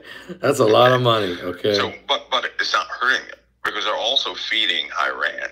See, they have back channel alliances that they deal with. So these guys are they're, they're talking one way. Believe me, they're working on something else. Right. And their attitude is turning hostile uh, towards Western culture, Western things, which is just like prophecy. But we're going to see an escalation in that. And China, by the way, China is becoming highly aggressive uh, in what they're doing. And so, you know, we're going to have to make a move at some point. For example, CERN, that facility CERN is not, is no longer, you know, it was one of the biggest machines on the earth, right? right. Not anymore. China has that beat. China unveiled something to a degree, not not to the whole world, but they unveiled something. They have a facility that is twice as big as CERN, right? It sits about 1.3 miles underneath the earth.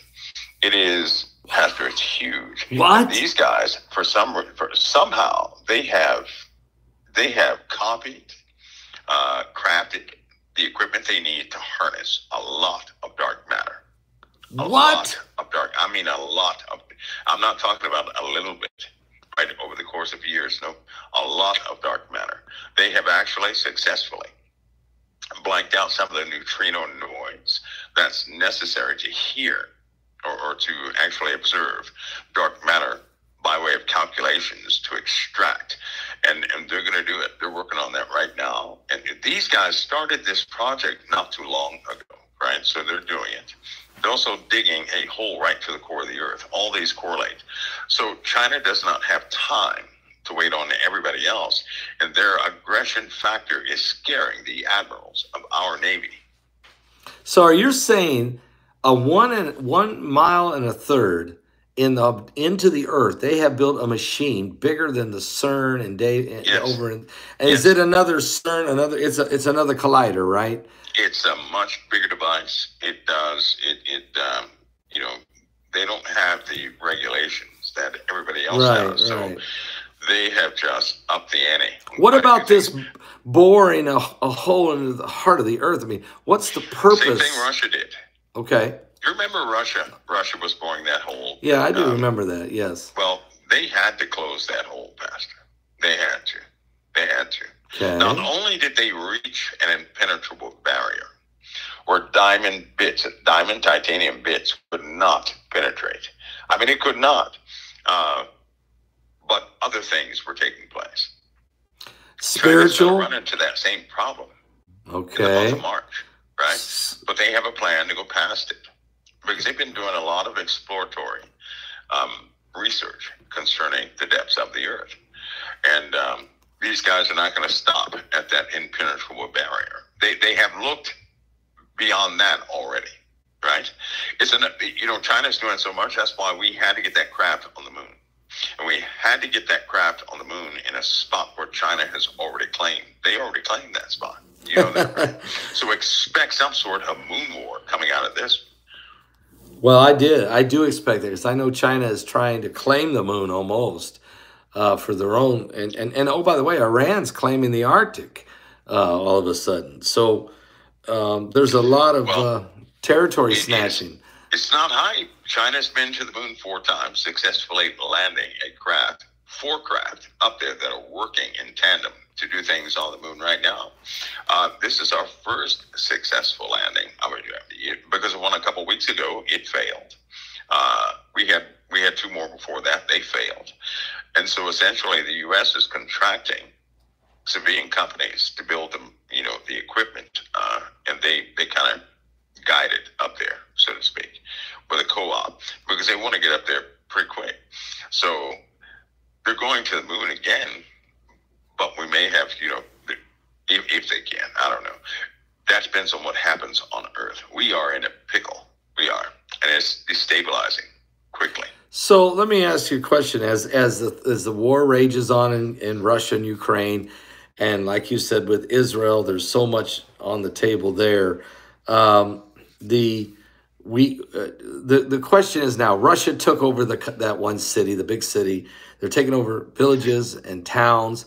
I'm understanding that they have captured hundreds of Ukrainian soldiers as made them POWs. Uh, is and Zelensky looks like he's running out of gas and, and the wheels are starting to come off. Do you think Putin will continue to force to take the whole country?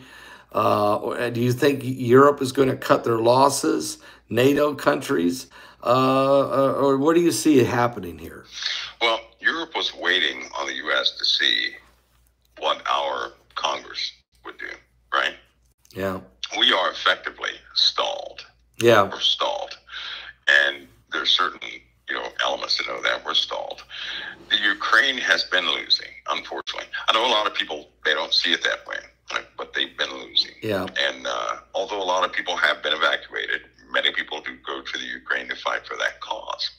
Putin is not going to give up. He's not going to stop. He's not going to back down. He's going to continue to go forward with that until he restores um, what he believes is Mother Russia and all of its all of its territories. And he's willing to do what's necessary to make that happen. Well, Mike, that that would include the Baltic states, all of its territories. Poland, Romania. All of its territories. So it's All of it. so NATO knows this. NATO knows Oh, yeah. that, And Putin Yes, is is is not flinching. And when Tucker Carlson interviewed him the other day, he didn't look like a man that was on his last leg. He didn't sound like a guy didn't know what was going on. Um, the, once KGB, always KGB. Way I see it, uh, he's on a he's on a mission, right? Yeah, the media lies, Pascal. They they they buy propaganda. They painted a picture as though Putin was this, you know, had become frail and senile. And by the way, he died like four times, according to media Yeah. stories. Yeah. Um, so they just, you know, they continue to lie with that propaganda, with these, but they don't. I guess they don't understand that hurts the situation because that fuels Russia to do much more. Anyway, he's he's very vibrant. He's very in control Yeah. of his faculties, and he's going to continue to push down that door uh, to the Ukraine and more. And his warnings are real, and he is prepared to use uh, greater weapons. Now, when NATO makes their decision, Pastor Paul, and we have committed troops to certain ground activities um, in or near the Ukraine, he will use higher yield weapons. He will. Wow. And everybody is getting, they know that. Everybody knows this. They're getting positioned for that. Now, just so everybody has some clarity, what that means is over there in that region, it will begin to explode everywhere. People here in the USA, they will see Israel in great duress. They're going to see Israel in duress. They're going to see the Middle East in duress. And we may see that for, you know, uh, uh, based on that war for some time without it actually being able to penetrate us. But at some point, we'll be drawn into. So But let's talk you know, about there's time for that. Yeah, let's talk about Israel. You made the point that you believe this is Joel 3, and I do too. Um, I, I honestly, this is the Joel 3 prophecy. The whole world's being brought down to the valley of Jehoshaphat, and God is pleading with the world don't do this. You don't want to do this. But they're going to do it. I think Jesus gave us that clue in Matthew 24 when he said, When you see this, you better flee. You, Jews are living in Judea. You better get out of there. Don't even get stuff out of your house. So it's coming. I mean, we're. Do you see that event? Do you see Oh, this thing coming to a head in the next uh, twelve months? Pastor Paul, it could, it, that could explode, right? At at a at, at this year, it could really Yeah. happen this year. And you know, speaking of that scripture you brought up, it's the only time Jesus ever told anybody to run, Yep, right? you're It's the right. only time. And if and if Christ tells somebody to run, well, they might want to think twice about that. And and of course, in Joel, one of the more notable passages at the end it says, "They have scattered among them." Uh, they have. Um, Yep. Let me read the whole thing. It says, um, "I will plead with them there for my people and for my heritage, Israel, whom they have scattered among the nations, Yep, and Parted parted, my land." That's past tense. that's past tense. So that means they did it. Yes. Yeah, they parted the land. So that means if, for that prophecy to come to pass, they're going to go ahead and make their decisions. They're going to force Israel to do what, what they're talking about right now. And uh, yeah, I think the this is not last. I think that what's happening now that uh, it's coming down to the United States. We're, we're the last veto, and then once they do vote on the floor of the General Assembly of the United Nations, which could be this September, let's say, um, they're going to force it.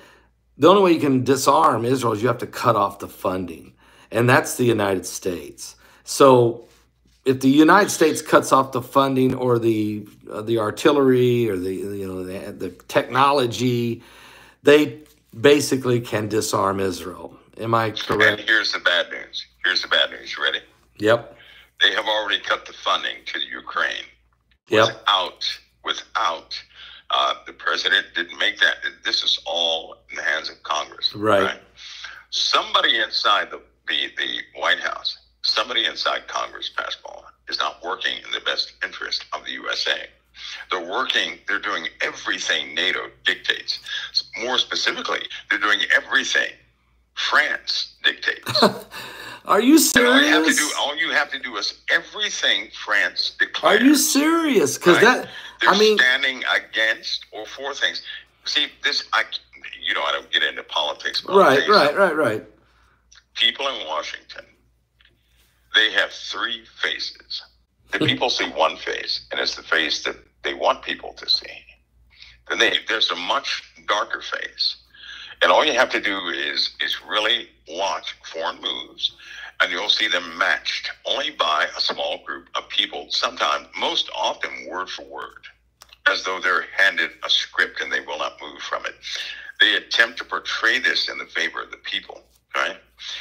That's not going to work out so well. And when people finally find out, it's going to be too late. They're blind. I, I think that many people can't see it right now because we have too many internal distractions right? Yeah. President Trump and this, um, you know, the prosecution of him and his family and his corporations, businesses, and so How do you feel about that, Mike? How do you feel? huge distraction for a lot of Well, people. how do you feel about that personally? I mean, Well, with the way what? he's being treated. Oh boy, I, I'll tell you something. I'll tell you something. People are always going to have in politics. They're going to have their feuding and their fights, right? Yeah. But my biggest problem is the people. Okay, here's why I say that. When you people claim they care about the candidate they vote for, Yeah. right? They do. If they truly cared, he wouldn't be in this mess. And what I mean by that, if he had, if, if President Trump has 70 million supporters, how come they can't give him two bucks apiece? Five bucks a piece. Right. right? Why can't they do that twice in a week? Problem solved. Here's the issue, though. For some reason, people will say they care, they support, follow, and everything else. But I believe that money has power over too many people. True. They cannot part from it. They will not back up, you know, what they truly feel with with that dollar. It, it overpowers them for some reason Yeah. right? You're true. My only advice for that is if a dollar bill can change, if having money can change my attitude, then money is stronger than the living God in my life. That's Nothing not should good. have power to change No. my attitude. If God is at the top, He's on His throne in my life, then nothing can change my attitude but Him. Right? Amen. Everything else is subsidiary to Him. Amen. But far too many people give money too much power. And it's time that be reversed, right? That's why people withhold things. I can almost feel it in me. The people, they, I don't know what it is, Pascal. They, they are. Well, is some of it fear? They allow it. It's, it's a lack of faith. That's first of all. Yeah, It's- it's, time. Something is getting them. and and there it's and it's also it's, the faith is being replaced with the fear fear of what Yeah. might happen to them i mean let me say this politically and i don't want to get into that but the the polls the uh, favorability of trump in new york went sky high up from where he was at so much so that they start to wonder the democrat party is starting to wonder could he flip new york uh, that's how much the people of New York felt he was being railroaded in this whole thing. Um, so this means the country right now is really in this uh, vice. They're in a vice, and they're not sure which way they should go. They're because they're afraid. Um, at some point, they got to make their decision, and I think if people would just listen to the Lord, they would know exactly what to do. But Sure, people just won't. Um, so you see this escalating even worse than the chaos. Yeah, they're not going to stop until uh, they they accomplish what they want to accomplish. They're not. Unless you know, to be fair, there were some unreported uh, casualties involved, right? And it really hit close to home. People are wild. They really are.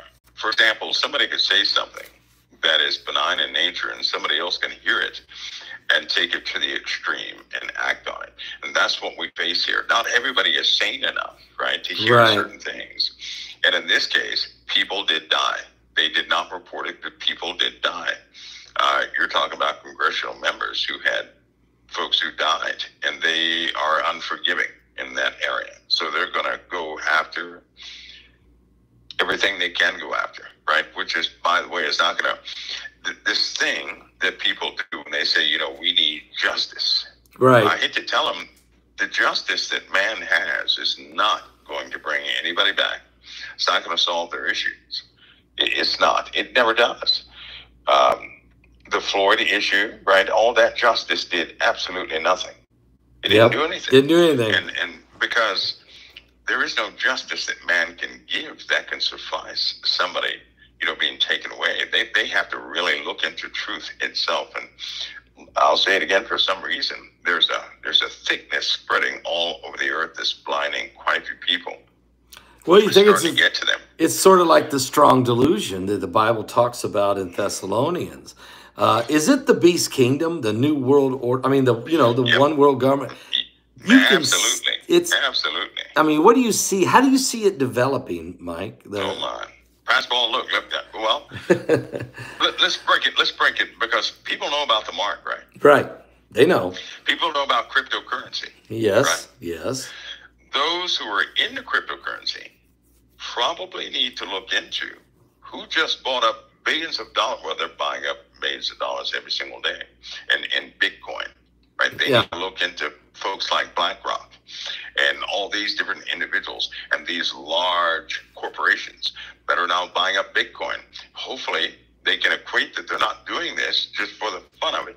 No, they're not doing that. No, no. Uh, a long time ago, we discussed they're going to utilize that system, right, the Bitcoin system, because foreigners are involved in that. It has become one of the main currencies of a couple of nations, and they're going to make that permanent here. Which means, Passball, here it is. You ready? I'm not making a financial prediction.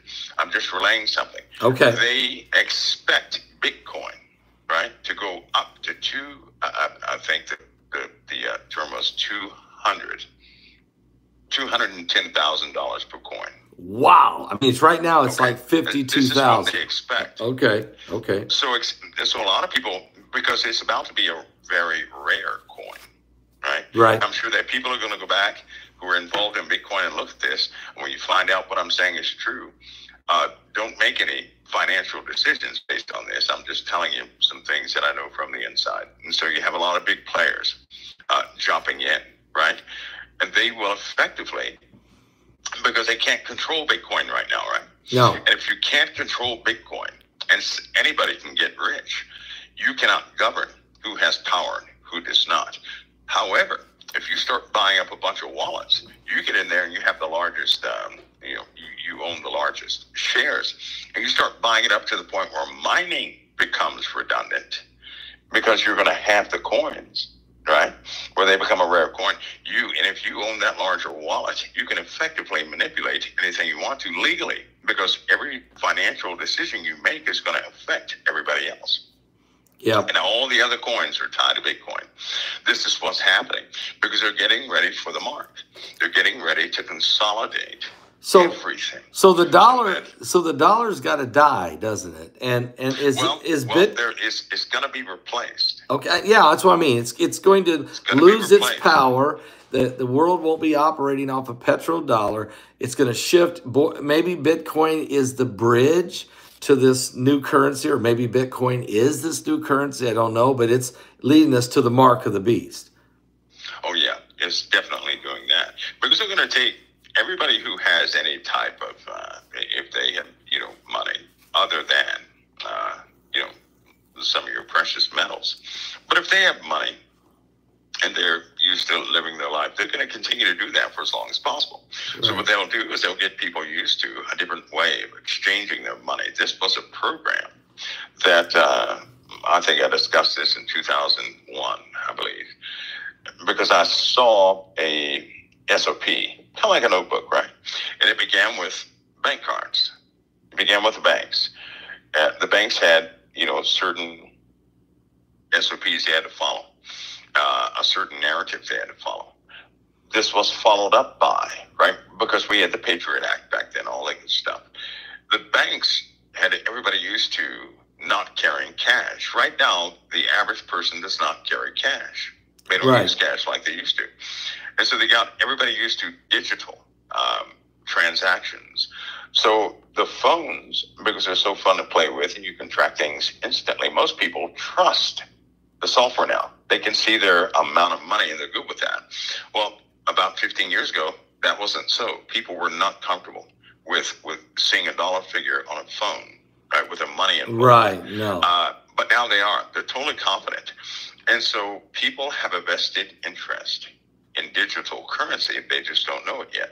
And when they take away the, the, the availability of cash, right, it will effectively change. It's going to be a, it's Um, going to be a very a quick shift. change, right? Yeah. Something that people are going to want because we're going to have a hacking problem that's going to scare all of us to pieces. Yeah, and that's going to make it easier to shift the pub, public into a Absolutely, cashless because They're not society. going to lose their money. Right. They're tied to that money pass ball. And somebody, imagine somebody, um, uh, some bank is compromised and people start losing money, right? Yeah. And they have real trouble from that loss where they're going to demand that somebody have better security. So they pay the money back, right? And then they apply the patches, do whatever they have to do, and they roll out the new security system. Yep. And everybody, and Once that security system is in play and people are told, hey, you never have to worry about hacking ever again, uh, they're going to love it. And because they don't have to take the mark initially, they're going to get it, get used to it. Once they're used to it, they're going to say, hey, in order for you to keep this, yep. you got to get this mark. Yeah, I and I and that's people are going to gladly do it. Yeah, no, this is what I and you what you just did. The scenario is exactly what we've been looking at. Is they will bring out this new currency, this new system. People will, everybody will jump in because it'll be the system.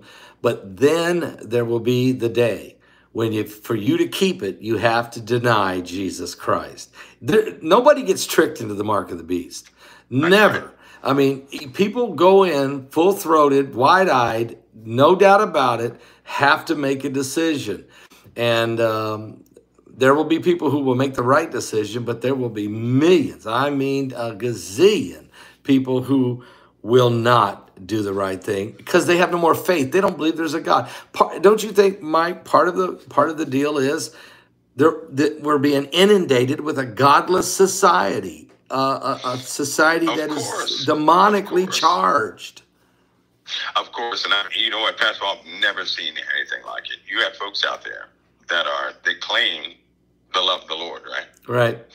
but they will not take a step in that direction of faith. They need some sort of compensation to feel like they're getting something in return, but they want no part of it. And then you have more and more people coming out saying, "Well, I just, I, I just never believed in the first place. I can't do this." Then you have folks like, uh, well, high representatives who claim that they're Christian, but then on secret recordings they're cursing out everybody Right. that's not working out either. No. So they don't. Their real faith is is uh, more of a you know some sort of a uh, to to appease their conscience for the moment. But again, you have a lot of people. The dividing line for the mark and everything else is going to be the dollar passed ball again. If people do not learn how to give things away, they're going to be in trouble. Yeah. And I really think that's key. A lot of people, they if I pass ball, if I were to give you something, and you get it, and three weeks later I check on you and say, "Well, how's it doing? Is it okay? You, you know, you're treating it. Well, that's not giving you anything. That's loaning No, that's that's And kind of of buying some way. things, right? They loan them. yeah. When you give something away, when you give somebody something, if I were to give somebody something, I want them because it's theirs. It's no longer mine. I'm not Right. going to check on it, do anything else. I want that to work for them. And I think that even even with the Lord's children, they have to learn how to really to really give. Because Yeah. when you really give, there's no jealousy, no envy, no. You don't have that thought. Did I make a mistake? Should I? Shouldn't I? No. Because you're giving to God. Because you're giving to Totally God. right? Yeah, when you give and to that should be God. with everything they do, pass ball, Yeah. with their love, right? With their love, with their servitude, uh, feeding their families, with their children, their spouse.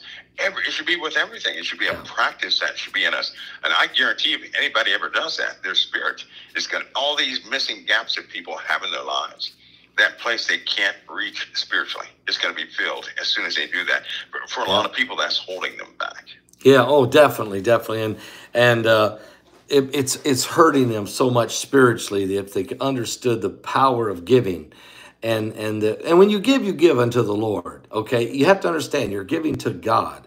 You're letting go, and you're letting God take control, and then you can't outgive God. You, it's impossible if you drew, if you believe that Bible and truly believe that God is the rewarder of them that diligently seek Him, which is what you're saying, then you have no problem in obeying God, giving to God, and trusting God to supply your every need, just like He said in the Scripture. Let me ask you this question, Mike, because as this Jesus said, "If you be ashamed of me." before this evil and adulterous generation. I'll be ashamed of you before the, my, the presence of my Father and his holy angels. So, part of this, uh, is people are going to have to get themselves in position to not be ashamed to tell anybody and everybody that they are a servant of Jesus Christ, that they love Him, and they, you know, that they are following the Lord no matter what. You have to get in that mind frame. I mean, really, you do if you're going to be a born again believer in Christ. Oh yeah. And you know what? The Lord does the rest. He's the one that said He'll finish the work He began in. That's right. Right. So, so I don't have to finish anything, but I do have a commitment to going forward. I don't have reverse. I used to have a reverse, not anymore. I have forward. But you know what, Pastor Paul? By doing that, by going forward, the joy came. The joy was never there until you start Right. going forward and you're not looking. See, I have no backup plan. Right, because there is no other you walk forward plan. Faith, you have no backup plan. That's right. Right. There is have no other plan. plan. That's right. folks with a backup plan, they're going to deviate. And this is not the right time to deviate because we have the earth is changing. A lot of people want to know how can I protect my family? I'll tell you what. You might want to sow some seeds of mercy, some seeds of grace, some seeds of love in your garden because everybody's going to have to eat from their garden they're planting every single day. And I've noticed something in life. You will eat of your garden sometimes at the wrong time, right? But if it's something good, you can have it all the time. When the enemy is in the land, uh, those who sowed mercy will reap Well, mercy yeah. from their enemies. That's in the Absolutely. Bible, Absolutely. Absolutely. So right. it some the enemy come over, get everybody else, but take care of you. Absolutely. You, you that's that's because that's the law of God, and that's how it will work. Uh, Mike, going forward, we got to talk about this. Um, the terror victims in in the Israeli attack, they're suing the Associated Press um, Yeah. because the uh, members of the Associated Press were embedded in this attack. uh, Yes, they were. You know, so um, we already have a bad enough problem. We don't trust the press because we can't. They lie so much to us. But what does this mean?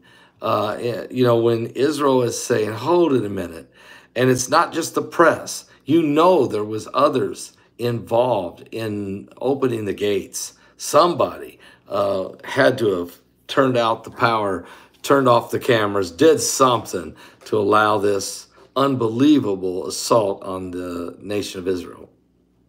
Well, you know what, Pastor? They were over there. They many of them lived right there in that area. Yeah. Um, one of the guys who died, he lived with them. He knew about what they were about to do, and he didn't tell a soul. He was there to record. He was there to document, which I do. Listen, if, if you're a reporter working for a U.S. based com- uh, company, Right. you don't follow the enemy into the camp of an ally, not saying that that is treason. That's right. It's That's treason. That's what that is. Because getting your favorite shot for a corporation is no excuse for allowing people to be mutilated like they were, right? Uh, in at any on any degree, on any level. So, in my opinion, that's absolute treason. And uh, but you had a lot of those people. In fact, you have a lot of people right now in the enemy's camp doing the exact same thing. And these corporations are concerned about the almighty dollar Yeah. rather than the lives of people Oh, yeah. for them. Oh, right? yeah. They want they want their credit, they want their ratings and everything else, and they'll do anything to get them. So it really displays that these guys report to get the confidence of the people so that you can continue to see them and pay for them. That's They're the spirit of murder. lives of anybody. Mike, that is the spirit of murder. That's Yes, murderous. Yes, it is. Yes, it is. They're, And they're- willfully so. They're, they're doing this willfully. yeah, they're complicit in the murder of people, and, and they can't. There's no righteousness at all. I don't care what they say. Well, I have a No. righteous oath to follow and follow the story. No, you, you have a right to you have to do the right thing at all times, no matter what profession you're in. You don't get a free pass because you're part of the press and you just can't help it. That's crazy. So we got the same thing going on in government. We got people who say that they're a Christian in government, and yet they will lie like a dog in front of everybody, and Yeah. they justify and say, "Well, I, you know, I have a private life in Christ, but publicly I have to be." No, I'm, I'm not buying it. Are you? No, it's just like this. Uh, this this uh, one of the most divisive subjects out there is abortion, right? Right. You can't take a stance on one side one day, flip it the other day because you found out your ratings dropped. no. and it, it, it- people should really start seeing through that. But you know what, Pastor Paul? Everybody's going to find out that one day we had one shot at this, Yeah. this thing called life, and that we should have, we should have come together during this time. Yep. Not further, but unfortunately, there's some bad apples that will always get in between, get get with good people to try and keep them separated. Yeah. And those, those, well, according to the word of God, they'll be gathered. To, the tares are going to be gathered together first. That's right. I believe the kingdom of the beast, all this iniquitous stuff that's happening, they're they're getting they're, they're getting together on this stuff, right? Their groups are getting bigger. Let them. Let them all jumble up together so they can be one big happy family and then kapoof, they're going to be thrust into darkness. That's, I, I believe that's part of the separation. It is not good to see. It's going to be it's going to be like pulling a scab off your body. It's going to hurt, right, to separate Yeah. those strokers because they don't want to they don't want to separate. They have a joy of of, of perverting the righteous, um, but it is part of the end process, and we're victorious anyway in the end. Yes. So that's why It is indeed a process. It's Amen. a, it's a process. Amen. So, Pastor Paul, thank you for doing what you're doing because in this process, a lot of people, if they have no clue of what's coming, even when it sounds crazy, if they have no clue, they're going to have, they're just going to be ineffective for everybody. They're, they're going to be no help to anybody. And they'll end up corrupting their own walk if they're scared enough. Because people are going to get scared. But the key is not to act on fear, not to walk by fear Right. right? Things scare me, but I will never make a decision by fear. Amen. Because God Amen. did not give us a spirit of fear. right? Amen. That's right. But if a person doesn't know, they're going to be out of their minds.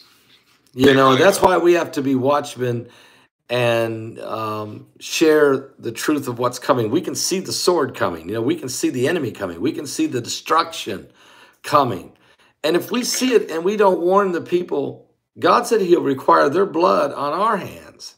Um, I don't want that. Do you, Mike? I mean, I mean that's uh, I, I, I couldn't even live with myself. I don't- there's no if, if- way. If, I just let a person fall into a hole, I can't do no, you can't. I can't do that. No, and I- that's not why do that. sometimes at the end of the day, I ask myself, have I done everything I could do?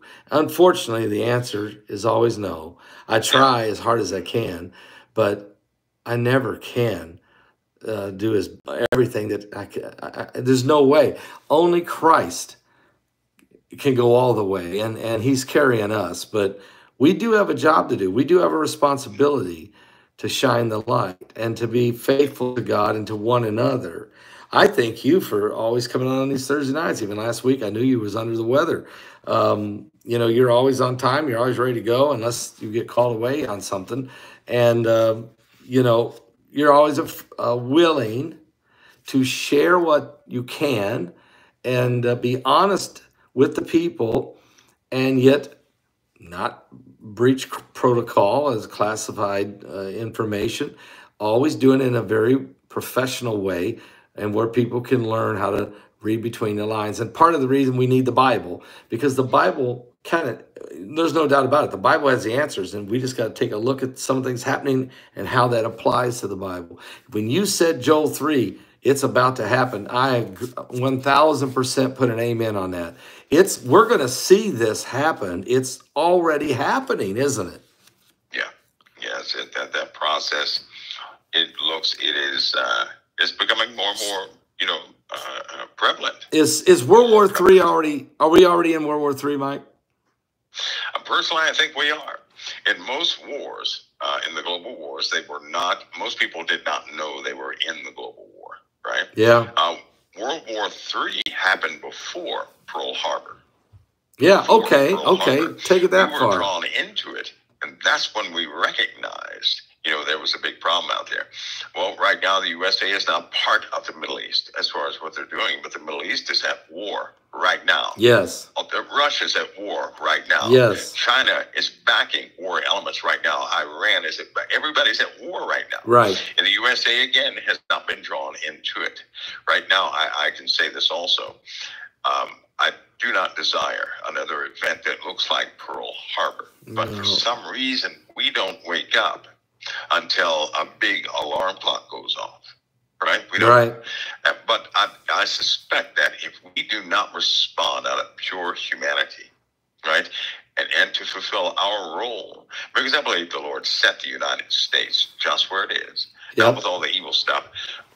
But Yeah. if we weren't here, we know this world would be Oh, it would be It would be chaos. It'd be murders. It'd be, it'd be, uh, God. It'd be unstoppably horrible and evil. Yeah, It's bad enough. worse. And, Yeah. and uh, I believe if we don't stand up to that role that we're given, right, the Lord's going to wake us up again, just like Pearl Harbor. And unfortunately, it takes uh, it, it takes a, a pretty good pounding to Amen. get us to wake up and to work together to get beyond our differences. Amen. It is unfortunate, but that's what happens. All right, Mike. You on back? I think it was around February nineteenth. You it's kind of into the broadcast. I believe it was last week, and you said in about forty days uh, we're going to be talking about there's there's going to be an event. Can you elaborate on that? Is that part of the? I can't. You can. I can't. I can. I can't. Okay. I can't. Okay. I'm sorry. I can't. But but but Pastor Paul, these are these are going to be heavy times. But we're going to know. Let me ask you this. Remember last week? Remember last week that little comment I snuck in there? You said something about Putin. Yeah. And I said, "Yeah, Putin's a nice guy unless you're, you know, you're his opposition." Yeah, I know. And then what And then happened? that guy died the next day. He he was killed the next day. that was awful. Yeah. Well, Mike, when you said you can't, I appreciate you saying that. I'm saying that I'm asking this. We'll probably know what that is then when Oh, yeah, when yeah. this takes place. We're going to talk about it on this show as it as it um, as we get close to that basketball Yeah. because uh, we'll know. we have heavy heavy things on the way. We have heavy Wow. things on the way. Wow. And I I just pray people are prepped and ready, uh, really ready.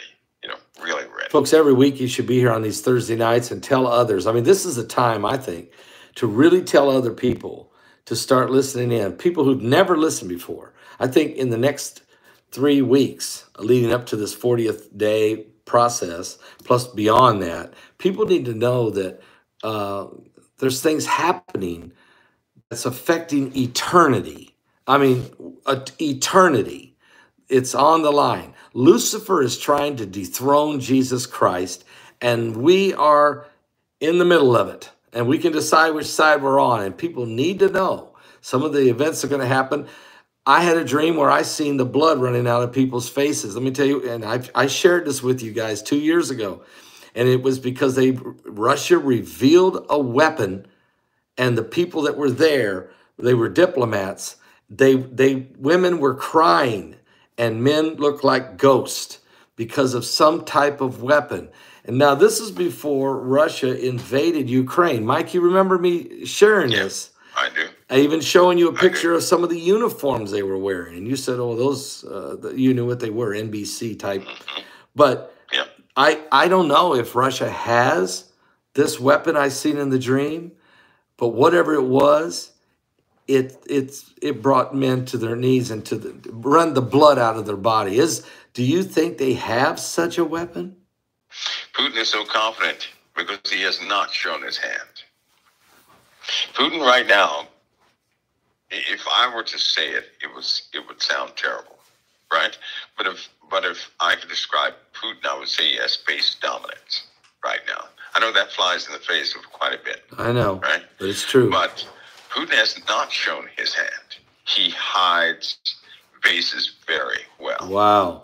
and then his um, he has not used anything modern that I've seen in any of these conflicts yet. He's not Yeah. used it. So he's holding back. He's holding He back. he's using everybody else's stuff. He's not utilizing his own equipment. If he were to pull out some of that equipment, you know, first of all, it, it, nobody would actually be able to see it because he has uh, he's gone far beyond, you know, what what in, uh, he's pressed physics all the way to its limits. Let's put it that way. he's got he's got some of the greatest scientists in the world, and uh, and they've got um, some of them have devious minds, and so mankind is uh, is going to suffer from that, no doubt about that. Mike, uh, what are we going to be talking about next week? I know we ain't to the forty days yet, so but what are we going to continue to see the sun blowing up, or what are we going to be talking about?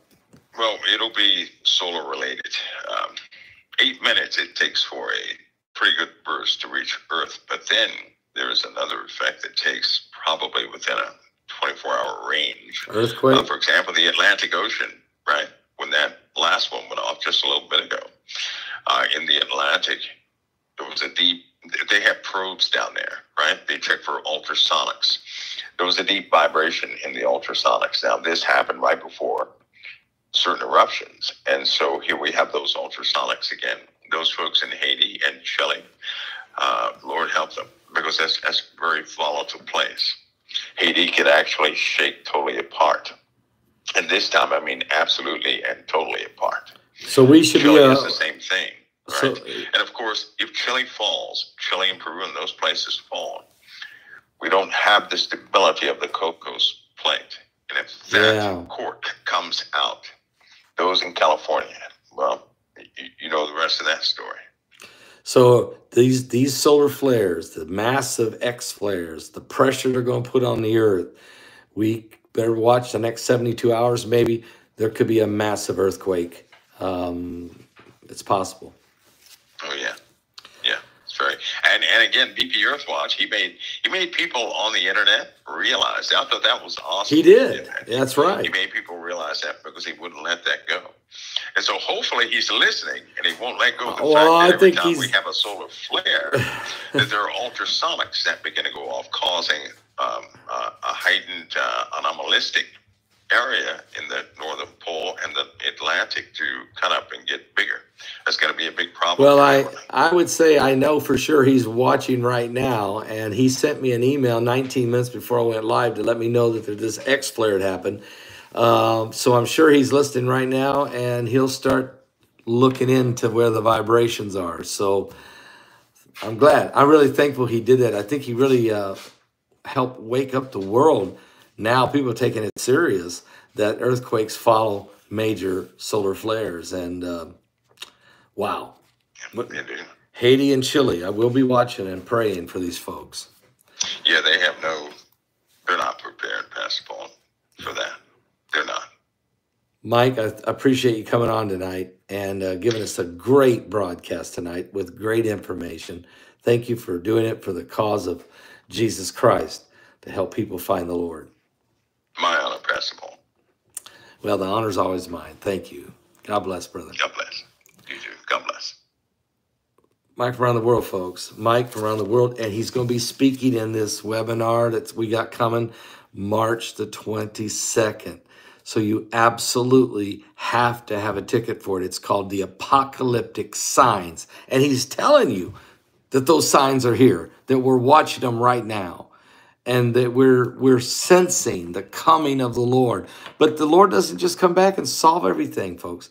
He comes back during a time of the most tribulation, most turbulent, most awful uh, woe, woe, woe upon the inhabitants of the earth.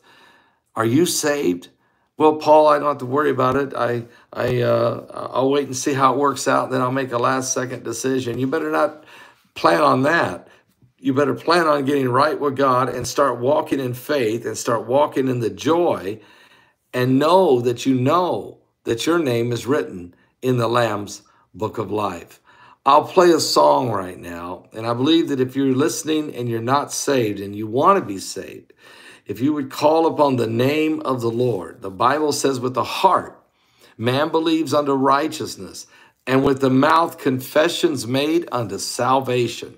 This is your time to be saved. This is your time to call on the name of the Lord. This is your time to be ready because he is coming back. And you could just type in the chat room, I want to be saved. Pastor Paul, I want to be saved. And let me pray with you because salvation is free. You just simply receive it and believe that there is only one Messiah. His name is Jesus Christ.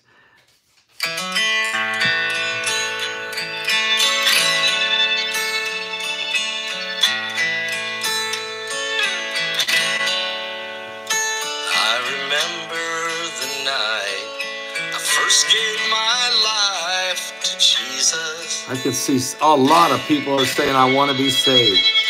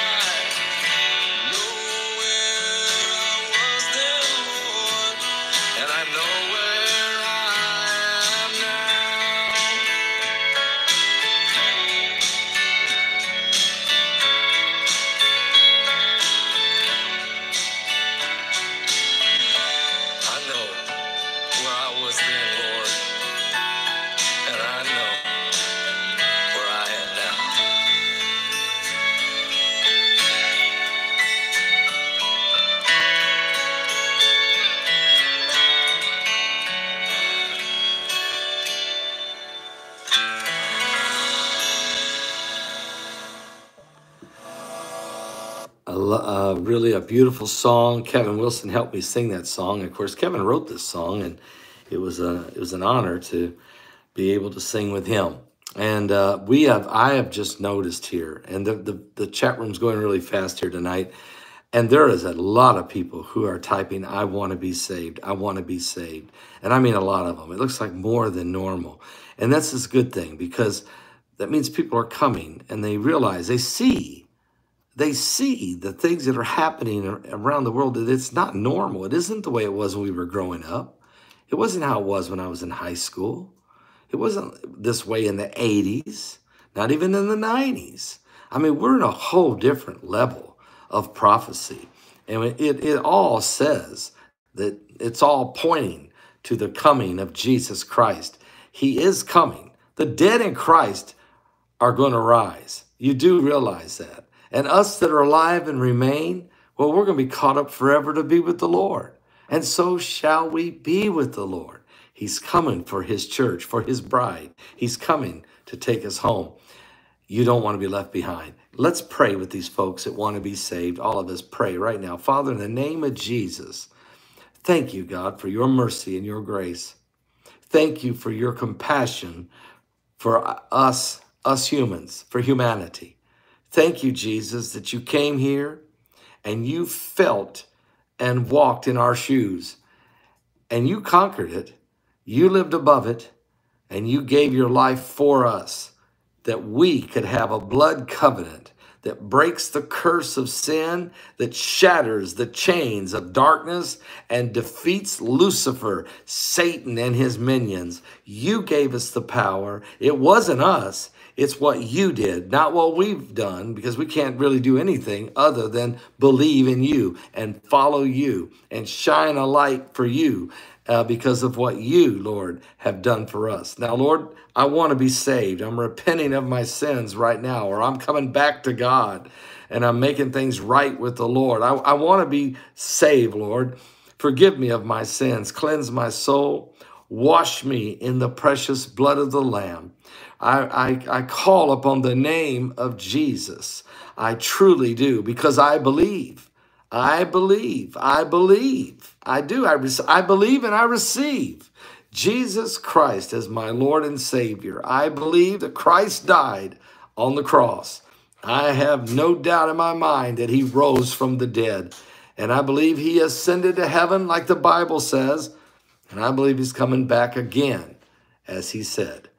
So, right here, right now, at this moment, by faith in God's grace, in the name of the Father, in the name of the Son, and the name of the Holy Ghost, in Jesus, Jesus' name, I am saved. I'm saved. I'm saved. I'm saved. I am saved. I'm born again. I'm set free. I've been delivered. I've been healed. I'm, I'm, I'm, I'm washed in the blood. I am saved in Jesus' precious name. God bless you. Welcome to the family, every one of you that have given your life to the Lord. Heidi and I are so happy for you. We're so excited for you. We want you to know we love you. And I want to encourage you to get baptized. I was so happy to baptize uh, a man last Sunday uh, under the big tent uh, who came, drove all the way from southern Illinois to Florida just to get baptized, was turning around. I'm going to drive back home so he could go to work on Monday. He said it was just time. He had given, he had gotten saved in one of these broadcasts like this one tonight, nine years ago. And he said, I needed to come. I needed to be baptized. And there was uh, tears were on down his cheek as he fulfilled God's great commission and call in his life. And look, you're saved tonight. You just got born again, but water baptism is powerful because it is the death, burial, and resurrection of Jesus Christ. It is powerful. And then the baptism of the Holy Ghost, it, it absolutely gives you the fuel injection to walk in faith and victory on a daily basis. And He's the comforter, He's your guide. He is the Holy Ghost, the Holy Spirit of God. So I want you to get it all and get ready because we need you in God's front line. Uh, and we need your family to get saved. We want your whole household to be born again. And we want everybody to have the victory that we have in Jesus. And for those of you who are giving your tithe and offering tonight, I pray a special blessing on you. I pray that God bless you going in and going out. He's making you the head and not the tail above and not beneath. You are blessed in the city and in the field, blessed in the fruit of your body, blessed. Matter of fact, you're blessed beyond measure.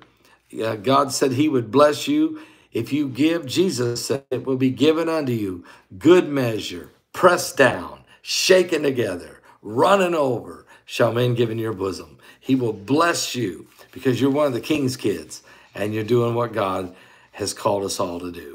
Thank you so much. I want to send a Bible to anybody that needs it for free. You just send an email here, uh, here in America. If you send an email in these lower 48 states to Miss ZD01 at hotmail.com. That's www.misszd.com. Wait, misszd01 at hotmail.com. And let us know you want a Bible and give us your address complete address and we'll send it to you for free. If you're sick, let us anoint a prayer cloth with oil and send it to you by faith. And if somebody uh, is very, very ill and uh, need a miracle, well, we serve a God that does miracles. As a matter of fact, we've had miracles happen, so many of them, right here on this online church. And I've got to meet some of them even after God cured them, healed them, delivered them uh, from death's door. It's a great thing to know Jesus Christ. Well, we love you. God bless you. Thank you for being with us tonight. What a great crowd we had. And tell others to watch this broadcast, the archives, to watch it because people are getting saved. And if you are watching the archives right now and you prayed and you gave your life to the Lord, just type in there, I want to be saved. I'm just, I'm repenting of my sin. Just, just let us know that God has just saved you and join the family of God. God bless all of you. Thank our moderators for doing a wonderful job as always. And thank God for each and every one of you. Now, tomorrow, I'm going to do a video sometime during the day um, called The Blanket. I absolutely want you to watch it. It is an incredible uh, gift by the COT family that they sent to Heidi and I. And I want you to see what God has done. God bless all of you. Be blessed in Jesus' name.